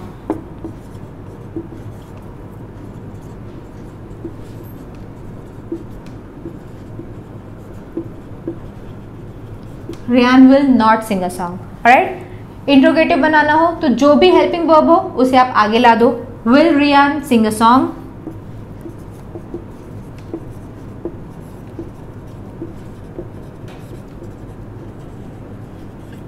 will Riyan sing a song और इंट्रोगेटिव नेगेटिव में कैसा होता था? पहले सब्जेक्ट पहले हेल्पिंग वर्ब फिर सब्जेक्ट उसके बाद नॉट लगा दो. Will Riyan not sing a song आप लिख सकते हो बट मैं लिख देती हूँ, चलिए। विल रियान नॉट इसके बाद same question mark will Riyan not sing a song और डब्ल्यू एच वाले में कैसा होता था? कि जो भी इंट्रोगेटिव बना रहे हो, उसके आगे आप डब्ल्यू एच वर्ड लगा दो, बाकी का सब कुछ सेम रहता है। जैसे, अगर हमको बनाना हो रियान कब गाना गाएगा? वेन तो वेन आगे लगा दो। When will Riyan sing a song when will Riyan sing a song very simple okay तो इतना ही है फ्यूचर इंडेफिनेट टेंस अगर आप एक और एग्ज़ाम्पल की बात करें तो जैसे हम बोल सकते हैं, अगर मैं बोलूँ कि मैं अपने फ्रेंड से मिलूँगी, मैं अपने फ्रेंड से मिलूँगी तो इसका इंग्लिश कैसे बनेगी? I shall meet my friend और simply I will meet my friend I will meet my friend I will not meet my friend will I meet my friend will I not meet my friend या फिर अगर मैं ये बोलूँ कि मैं अपने फ्रेंड से कब मिलूँगी तो आई से when will I meet my friend तो इस तरीके से सेंटेंसेस बनते हैं। अब हम जब आगे और टेंसेस एक एक करके सीखेंगे तो आपको और डिटेल में जानने के लिए मिलेगा। तो फ्यूचर इंडेफिनेट टेंस इतना ही है। आगे बढ़ते हैं और देखते हैं फ्यूचर कॉन्टिन्यूस टेंस वो भी बहुत ईजी है। नाउ लेट्स मूव फॉरवर्ड और देखते हैं फ्यूचर का सेकेंड सब टाइप जो कि है फ्यूचर कॉन्टिन्यूस टेंस आपको पता है कि कॉन्टिन्यूस आएगा तो काम चल रहा होगा, है ना? तो वर्ब का फ़र्स्ट फॉर्म आईएनजी लगेगा। सब सेम है सब्जेक्ट पहले आएगा। बस देखना आपको इतना है, जो आपने प्रेजेंट और पास पढ़ा, बिल्कुल वैसा ही है। सिर्फ़ आपको इतना देखना है कि इसमें हेल्पिंग वर्ब कौन सा लगेगा। तो अभी आपने फ्यूचर इंडेफिनेट टेंस में क्या देखा? कि आई और वी के साथ शेल लगता है, वो भी ऑप्शनल है। आप चाहो तो विल लगा दो। इसके अलावा जितने भी सब्जेक्ट्स हैं, सबके साथ विल लगता है। इतना आपने देखा ना? बस इसमें फ्यूचर कॉन्टिन्यूस टेंस में जहाँ शेल है, वहाँ शेल बी हो जाएगा। जहाँ विल है, वहाँ विल बी हो जाएगा। तो यहाँ कौन से हेल्पिंग वर्ब्स लगने वाले हैं? शेल बी और विल बी किसके साथ लगेगा? वो भी मैंने आपको बता दिया। अब स्ट्रक्चर देखो। सबसे पहले सब्जेक्ट लगेगा बट ऑब्वियस बात है। इसके बाद will shall be will be या फिर शेल बी इसके बाद वर्ब का फ़र्स्ट फॉर्म आईएनजी लगेगा और ऑब्जेक्ट लगेगा। ये तो आपको पता ही है कॉन्टिन्यूस का स्ट्रक्चर वही सिंपल देखो अब इसका फॉर्मेट क्या है। वह पत्र लिख रहा होगा। आईडी तो आइडेंट पहचान तो आपको पता ही है ना कि इसको आइडेंटिफाई कैसे करेंगे? कि सेंटेंस के लास्ट में रहा होगा, रही होगी, रहे होंगे, आएँगे, मैं आपको बता चुकी हूँ। ठीक है? अब इसको ट्रांसलेट करें। वह पत्र लिख रहा होगा। वह होगा। लड़के की बात है ही ही के साथ क्या लगना चाहिए? Will be he will be writing a he will be writing a letter right मतलब लिखना फ़र्स्ट फॉर्म उसमें एन जी लग जाएगा he will be writing a letter present में भी तो सेम था कॉन्टिन्यूस में क्या था? He is writing a letter past में he was writing a letter यानी यही तो चेंज हो रहा है, बाकी तो स्ट्रक्चर पूरा सेम है है कि नहीं? इसके बाद नेगेटिव का स्ट्रक्चर आपको पता है कि विल या शेल के बाद नॉट लगेगा, यानी हेल्पिंग वर्ब के बाद नॉट लगेगा। पर क्योंकि इसमें दो हैं तो आप कंफ्यूज हो सकते हो कि विल बी के बाद नॉट लगाए, कि विल के बाद नॉट लगाएँ। तो हमेशा याद रखना, जब भी दो हेल्पिंग वर्ब्स एक साथ आ रहे हो, जैसे had been has been will be इस तरीके के अगर हेल्पिंग वर्ब्स आ रहे हैं तो आप पहले वाले के बाद लगाओगे, यानी दोनों के बीच में लगना चाहिए not he will not be he will not be writing a letter लिख लोगे आप? आप लिख लेना ओके इसके बाद क्वेश्चन कैसे बनेगा? जो हेल्पिंग वर्ब है वो सामने आ जाएगा। तो यहाँ पर दो हेल्पिंग वर्ब्स हैं तो आप फिर कंफ्यूज होगे कि दोनों लाए क्या? तो नहीं। इसमें इसको या इसको लाओगे? विल या शेल आगे आएगा। बाकी बी सब्जेक्ट के बाद लगेगा। क्या स्ट्रक्चर बनेगा? विल या शेल सब्जेक्ट फिर बी इसके बाद तो सेम रहेगा वर्ब का first form I N G और ऑब्जेक्ट और क्वेश्चन मार्क जैसे हमारे पास क्या सेंटेंस uh, है क्या वह पत्र लिख रहा होगा? तो आप इसे कैसे बोलोगे? Will he be will he be writing a letter क्या वो पत्र लिख रहा होगा? Will he be writing a letter और अगर मैं नेगेटिव बनाना हो तो सब्जेक्ट के बाद नॉट आता है। इंट्रोगेटिव नेगेटिव में हमेशा सब्जेक्ट के बाद नॉट आएगा। आपको पता है। मैं बहुत बार बता चुकी हूँ अब तो। Will he not be will he not will he के बाद लगेगा। Will he not be writing a letter फिर ये बन जाएगा। क्या वो पत्र नहीं लिख रहा होगा? और डब्ल्यू एच वाले को तो आपको पता ही है कि क्वेश्चन जो भी है, आगे लगा दो। जैसे अगर लिखना होता है, वह पत्र क्यों नहीं लिख रहा है? तो क्यों के लिए वाई यूज़ होता है? तो आप क्या लिखोगे? Why will he why will he be writing a letter why will he be writing a letter इतना ही है। तो मैंने आपको पहले ही बोला था कि अगर आपने एक टेंस के चारों सब टाइप्स अच्छे से पढ़ लिए तो बाकी तो बहुत फटाफट से हो जाते हैं सिर्फ़ प्रैक्टिस करनी होती है। बाकी आप बोल बोल के प्रैक्टिस करो जैसे इसके इसके अलावा कोई भी और एक, एग्ज़ाम्पल ले लो जैसे जैसे जैसे अगर आप बोलना चाहो कि रिद्धि सो रही होगी तो आप बोलोगे Riddhi will be sleeping Riddhi will not be sleeping will Riddhi be sleeping will Riddhi not be sleeping why will Riddhi be sleeping इस तरीके से बोलो बोल बोल के प्रैक्टिस करो तो टेंस की प्रैक्टिस हो जाएगी। ओके आगे बढ़ते हैं अब देखते हैं future perfect tense again it's a very easy tense आपको सीखकर अच्छा लगेगा। ओके okay, तो चलिए अब आगे बढ़ते हैं और देखते हैं नेक्स्ट टेंस जो कि है future perfect tense perfect tense आपको पता है जिसमें काम हो चुका होता है। क्योंकि फ्यूचर की बात है तो हो चुका होगा। तो इसकी पहचान मैं आपको ऑलरेडी बता चुकी हूँ चुका होगा चुके होंगे चुकी होगी। सेंटेंस के लास्ट में ये आएगा। अगर आ रहा है तो वो सेंटेंस फ्यूचर परफेक्ट टेंस का है। ओके सेंटेंस बनाने का तरीका भी बिल्कुल सेम है। पहले सब्जेक्ट आएगा, फिर हेल्पिंग वर्ब आएगा वर्ब का थर्ड फॉर्म आएगा ऑब्जेक्ट आएगा। अब बस बात आपको समझने की सिर्फ़ इतनी है कि हेल्पिंग वर्ब कौन सा आएगा, कौन से सब्जेक्ट के साथ। तो फ्यूचर परफेक्ट टेंस का जो हेल्पिंग वर्ब होता है, वो होता है विल हैव या फिर शेल हैव मतलब विल लगेगा या शेल लगेगा और हैव लगेगा। सभी के साथ हैव लगेगा। ऐसा नहीं है कि आपने प्रेजेंट में पढ़ा था प्रेजेंट इंडेफिनेट में, कि इन वाले सब्जेक्ट्स के साथ हैव लगता है, इसके साथ हैज़ लगता है तो यहाँ पर विल हैव लगेगा। वी आ रहा है तो आप विल हैव लिख दो। ही आ रहा है तो विल हैज़ लिख दो तो ऐसा नहीं है। सारे सब्जेक्ट्स के साथ हेल्पिंग वर्ब लगेगा। हैव तो लगेगा ही। हैव ही लगेगा। ऊपर फिर आपको डिसाइड करना है कि आपको विल लगाना है कि शेल लगाना है।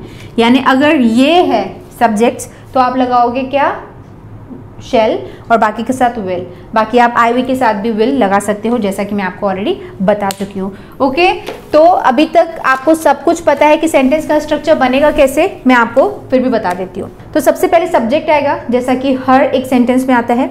फिर आएगा विल हैव या फिर शेल हैव अब किसके साथ क्या लगेगा, वो भी मैंने आपको बता दिया।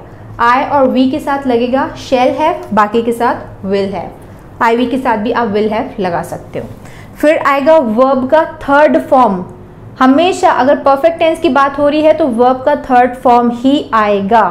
अभी तक आपको इतना तो समझ में आ जाना चाहिए था आई थिंक आ भी गया होगा। टेंसेस बहुत ईजी है, सिर्फ़ आपको थोड़ा सा फोकस्ड होने की ज़रूरत होती है। एक बार अगर आप थोड़ा सा ध्यान से देख लोगे ना तो टेंसेस आपको रट जाएँगे। ठीक है? फिर आएगा ऑब्जेक्ट सिंपल है स्ट्रक्चर बना के देखते हैं। सेंटेंस कैसा बनेगा? वे आ चुके होंगे। वे के लिए क्या वर्ब यू क्या सब्जेक्ट यूज़ होता है? दे। दे लिखते हैं ना? दे। Okay they. फिर दे के साथ क्या लगेगा? Will they will have they will have come come का थर्ड फॉर्म कम आना, आ चुके होंगे, है ना? कम उसका थर्ड फॉर्म भी कम ही होता है। कम came come they will have कम वो आ चुके होंगे। अगर आपको बोलना हो कि सिया पढ़ चुकी होगी तो आप बोलोगे, Siya will have studied study का थर्ड फॉर्म इस तरीके से सेंटेंस बनता है। आगे समझ में?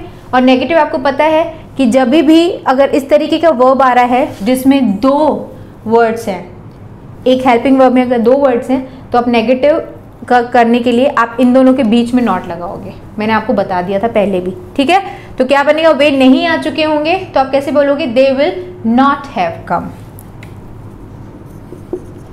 they will not have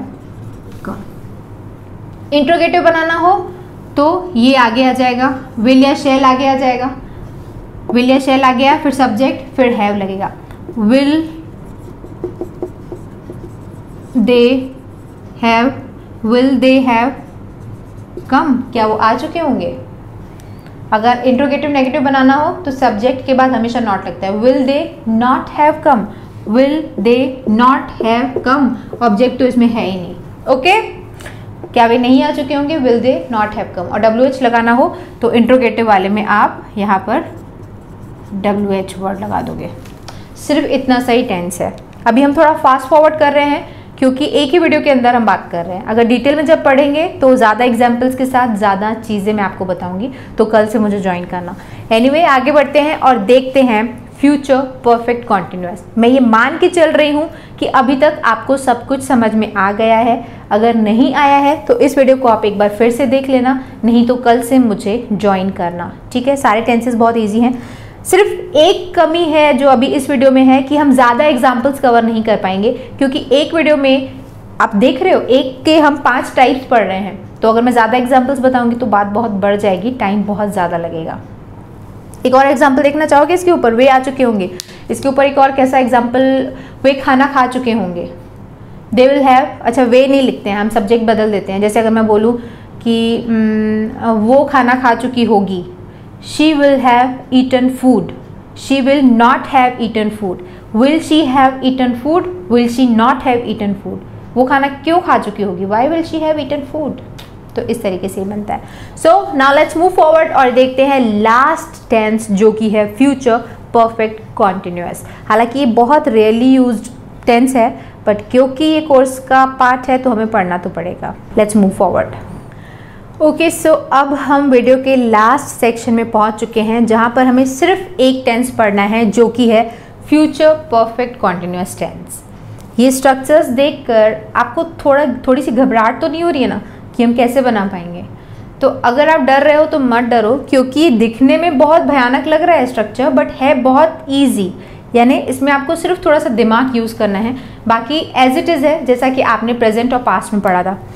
इसकी पहचान तो आप ऑलरेडी जानते हो कि अगर परफेक्ट कॉन्टिन्यूस है तो टाइम दिया होगा और भविष्य की बात होगी और काम चल रहा होगा। जैसे से रहा होगा, दस घंटे से पढ़ रहा होगा, चार घंटे से सो रहा होगा, दस दस दिन से नहीं आ रहा होगा, इस तरीके के सेंटेंसेस बनते हैं। से रहा होगा, से रही होगी, से रहे होंगे राइट अब देखो इसका स्ट्रक्चर कैसा है। तो अभी तक आपको पता है कि परफेक्ट कॉन्टिन्यूस में वर्ब का फ़र्स्ट फॉर्म लगता है आईएनजी लगता है। ठीक है? एक बात क्लियर है सब्जेक्ट के बाद हेल्पिंग वर्ब लगेगा। हेल्पिंग वर्ब कौन सा लगेगा? वो आप देखो।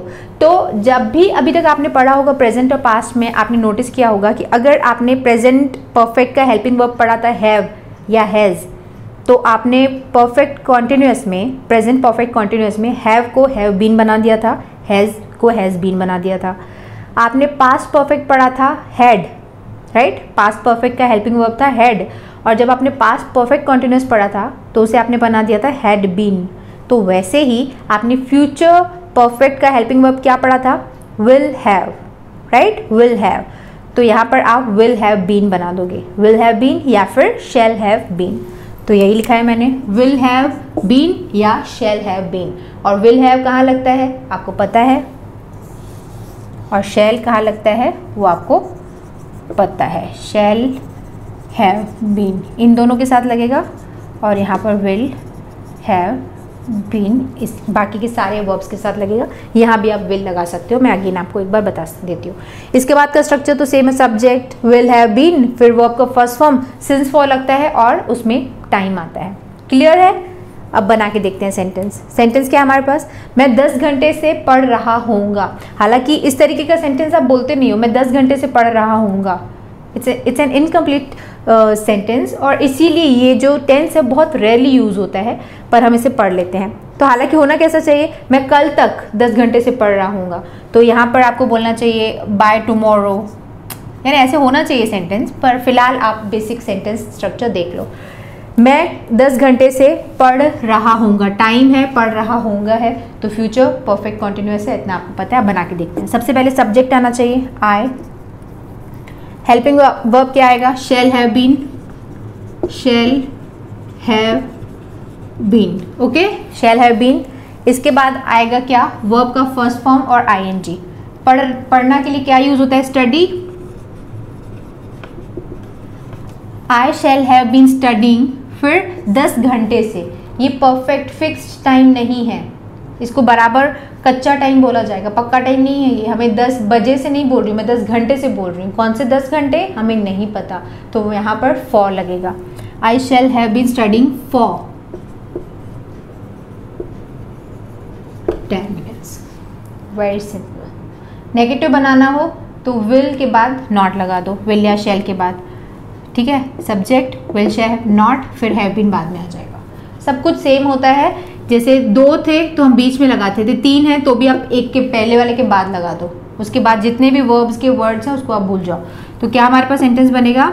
I shall not have been studying for ten minutes लिख दूँ?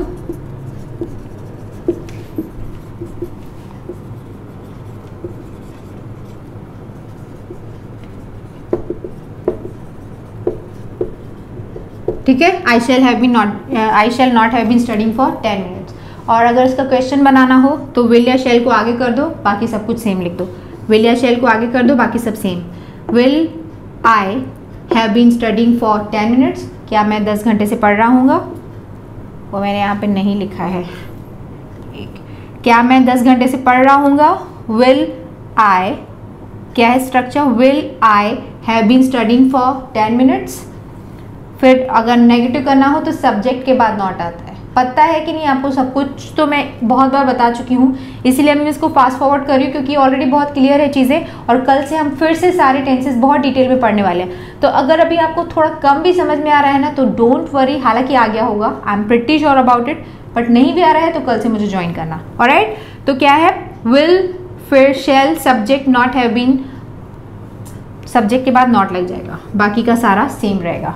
Will I not have been studying for ten minutes और डब्ल्यू एच वाले में सिर्फ़ जो इंट्रोगेटिव है, इसमें आप डब्ल्यू एच वर्ड लगा देना। सिर्फ़ इतना सा। तो ये थे टेंसेस बहुत हवा है टेंस के नाम का। बहुत ज़्यादा इसे हाइप दिया जाता है। है बहुत easy easy in the sense कि रूल्स बहुत ईजी हैं, समझना बहुत ईजी है। सिर्फ़ इसमें एक ही चीज़ डिफ़िकल्ट है, वो है प्रैक्टिस करना। जैसे मैं अगर कोई सेंटेंस बोलती हूँ तो उसके ऊपर मैं सारे बोल लेती हूँ। आपको भी उतना परफेक्ट होना पड़ेगा तो ही आप के टेंस सीखने का कोई मतलब है। तो इतना बोल बोल के प्रैक्टिस करो कि ये सारी चीज़ें आपसे बनने लगे। तो मैंने आपको एक एक एग्ज़ाम्पल कहीं कहीं दो दो भी बताए हैं। तो अब आप जितने सेंटेंसेस सोच सकते हो, सोचो। उसके ऊपर बहुत ज़्यादा बोल बोल कर, बहुत ज़्यादा लिख लिख कर प्रैक्टिस करो। इवेंचुअली आपको टेंसेस याद हो जाएँगे और याद करने के बाद राइट right? सेंटेंसेस का मेकिंग बहुत फ्लुएंट हो जाएगा। यानी जब भी आप बोलने की कोशिश करोगे ना तो वो वो सेंटेंसेस ऑलरेडी आपके दिमाग में आ जाएँगे। बहुत फ्लॉलेसली आ जाएँगे फ्लुएंटली आ जाएँगे तो आप बहुत आसानी से बोल पाएँगे। तो यहाँ पर फ़िलहाल मैं इस वीडियो को एंड करूँगी। एक ही वीडियो में मैंने आपको दो महीने का कोर्स कराया है ट्रस्ट में अगर आप किसी भी इंस्टीट्यूट में जाओगे तो आपको आराम से दो महीने लगेंगे, उसके बाद भी आपसे बने, वो कन्फर्म नहीं है। बट मैंने आई थिंक ईजी वे में बताया था, अगर नहीं समझ आया हो तो आप इसे रिपीट वीडियो को देख लेना या फिर कल से मुझे ज्वाइन करना, क्योंकि कल से हम टेंस की सीरीज़ शुरू कर रहे हैं और इन्फॉर्मेशन सेंटर पर अब के बाद रेगुलरली ग्रामर बेस्ड वीडियोस आएँगे, जिसे आप ग्रामर सीरीज़ बोल सकते हो। यानी अभी हम ग्रामर सीरीज़ करने वाले हैं इन्फॉर्मेशन सेंटर पर तो अगर आप ग्रामर सीखने में इंटरेस्टेड हो एकदम स्टार्टिंग से तो मुझे कल से ज्वाइन ज़रूर करिएगा। और right so now let's end this video अगर ये वीडियो पसंद आया हो, अगर आपको टेंसेस का डाउट क्लियर हुआ हो टेंस क्या है, कैसे सेंटेंसेस होते हैं, वो सब समझ आया हो तो वीडियो को लाइक ज़रूर करिएगा। Your like and comments appreciate me और मुझे अच्छा काम करने के लिए मोटिवेशन मिलता है। एंड वन मोर थिंग अगर आप एक्चुअली मेरे काम को अप्रिशिएट करते हैं तो इस वीडियो को शेयर ज़रूर करिएगा। जिस भी व्हाट्सएप ग्रुप में आप ऐड हैं, उनमें आप शेयर करिए। हो सकता है किसी न किसी नीडी के पास ये वीडियो पहुँचे। मेरे काम करने का, मेरी इतनी मेहनत करने का जो रिज़ल्ट है, वो आए। यानी सक्सेसफुल हो मेरा वीडियो बनाने का जो उद्देश्य है। तो वीडियो को शेयर ज़रूर करिएगा। क्योंकि बहुत लॉन्ग है, अभी तक का मेरा सबसे बड़ा वीडियो है जिसमें मैंने बहुत ज़्यादा मेहनत की है तो वीडियो को शेयर करना मत भूलिएगा। और इस वीडियो के बारे में आपकी क्या ओपिनियन है, वो मुझे नीचे लिख कर बताइएगा। मैं ज़रूर पढ़ूँगी, अगर आपके कोई डाउट्स हैं तो वो आप मुझे पूछिएगा, मैं आंसर करने की भी कोशिश करूँगी right so now let's end this video मिलते हैं हमारे अगले वीडियो में। कल से टेंसेस के ऊपर ही वन बाय वन हम सारे टेंसेस सीखेंगे और राइट एंड अगर आप पहली बार इस चैनल पर आए हैं तो इन्फॉर्मेशन सेंटर को सब्सक्राइब ज़रूर करिएगा, क्योंकि कल से अगर आप टेंसेस सीखना चाहोगे ना तो आपके पास नोटिफिकेशन तभी आएगा जब आप इन्फॉर्मेशन सेंटर को सब्सक्राइब करोगे। सब्सक्राइब करना बहुत आसान है। उसके लिए नीचे जो रेड कलर का सब्सक्राइब बटन है, उसको आपको टच करना है। उसके बाजू में जो बेल आइकन है, उसको आपको टच कर देना है। अगर आप ऐसा करेंगे तो फिर जब भी अब ग्रामर बेस्ड वीडियोज़ जो भी अपलोड होंगे तो उसका नोटिफिकेशन आपके मोबाइल में आ जाएगा। और right now it's time for me to sign off मिलते हैं हमारा अगली वीडियो में एक और टॉपिक के साथ। See in the next video bye bye thanks for watching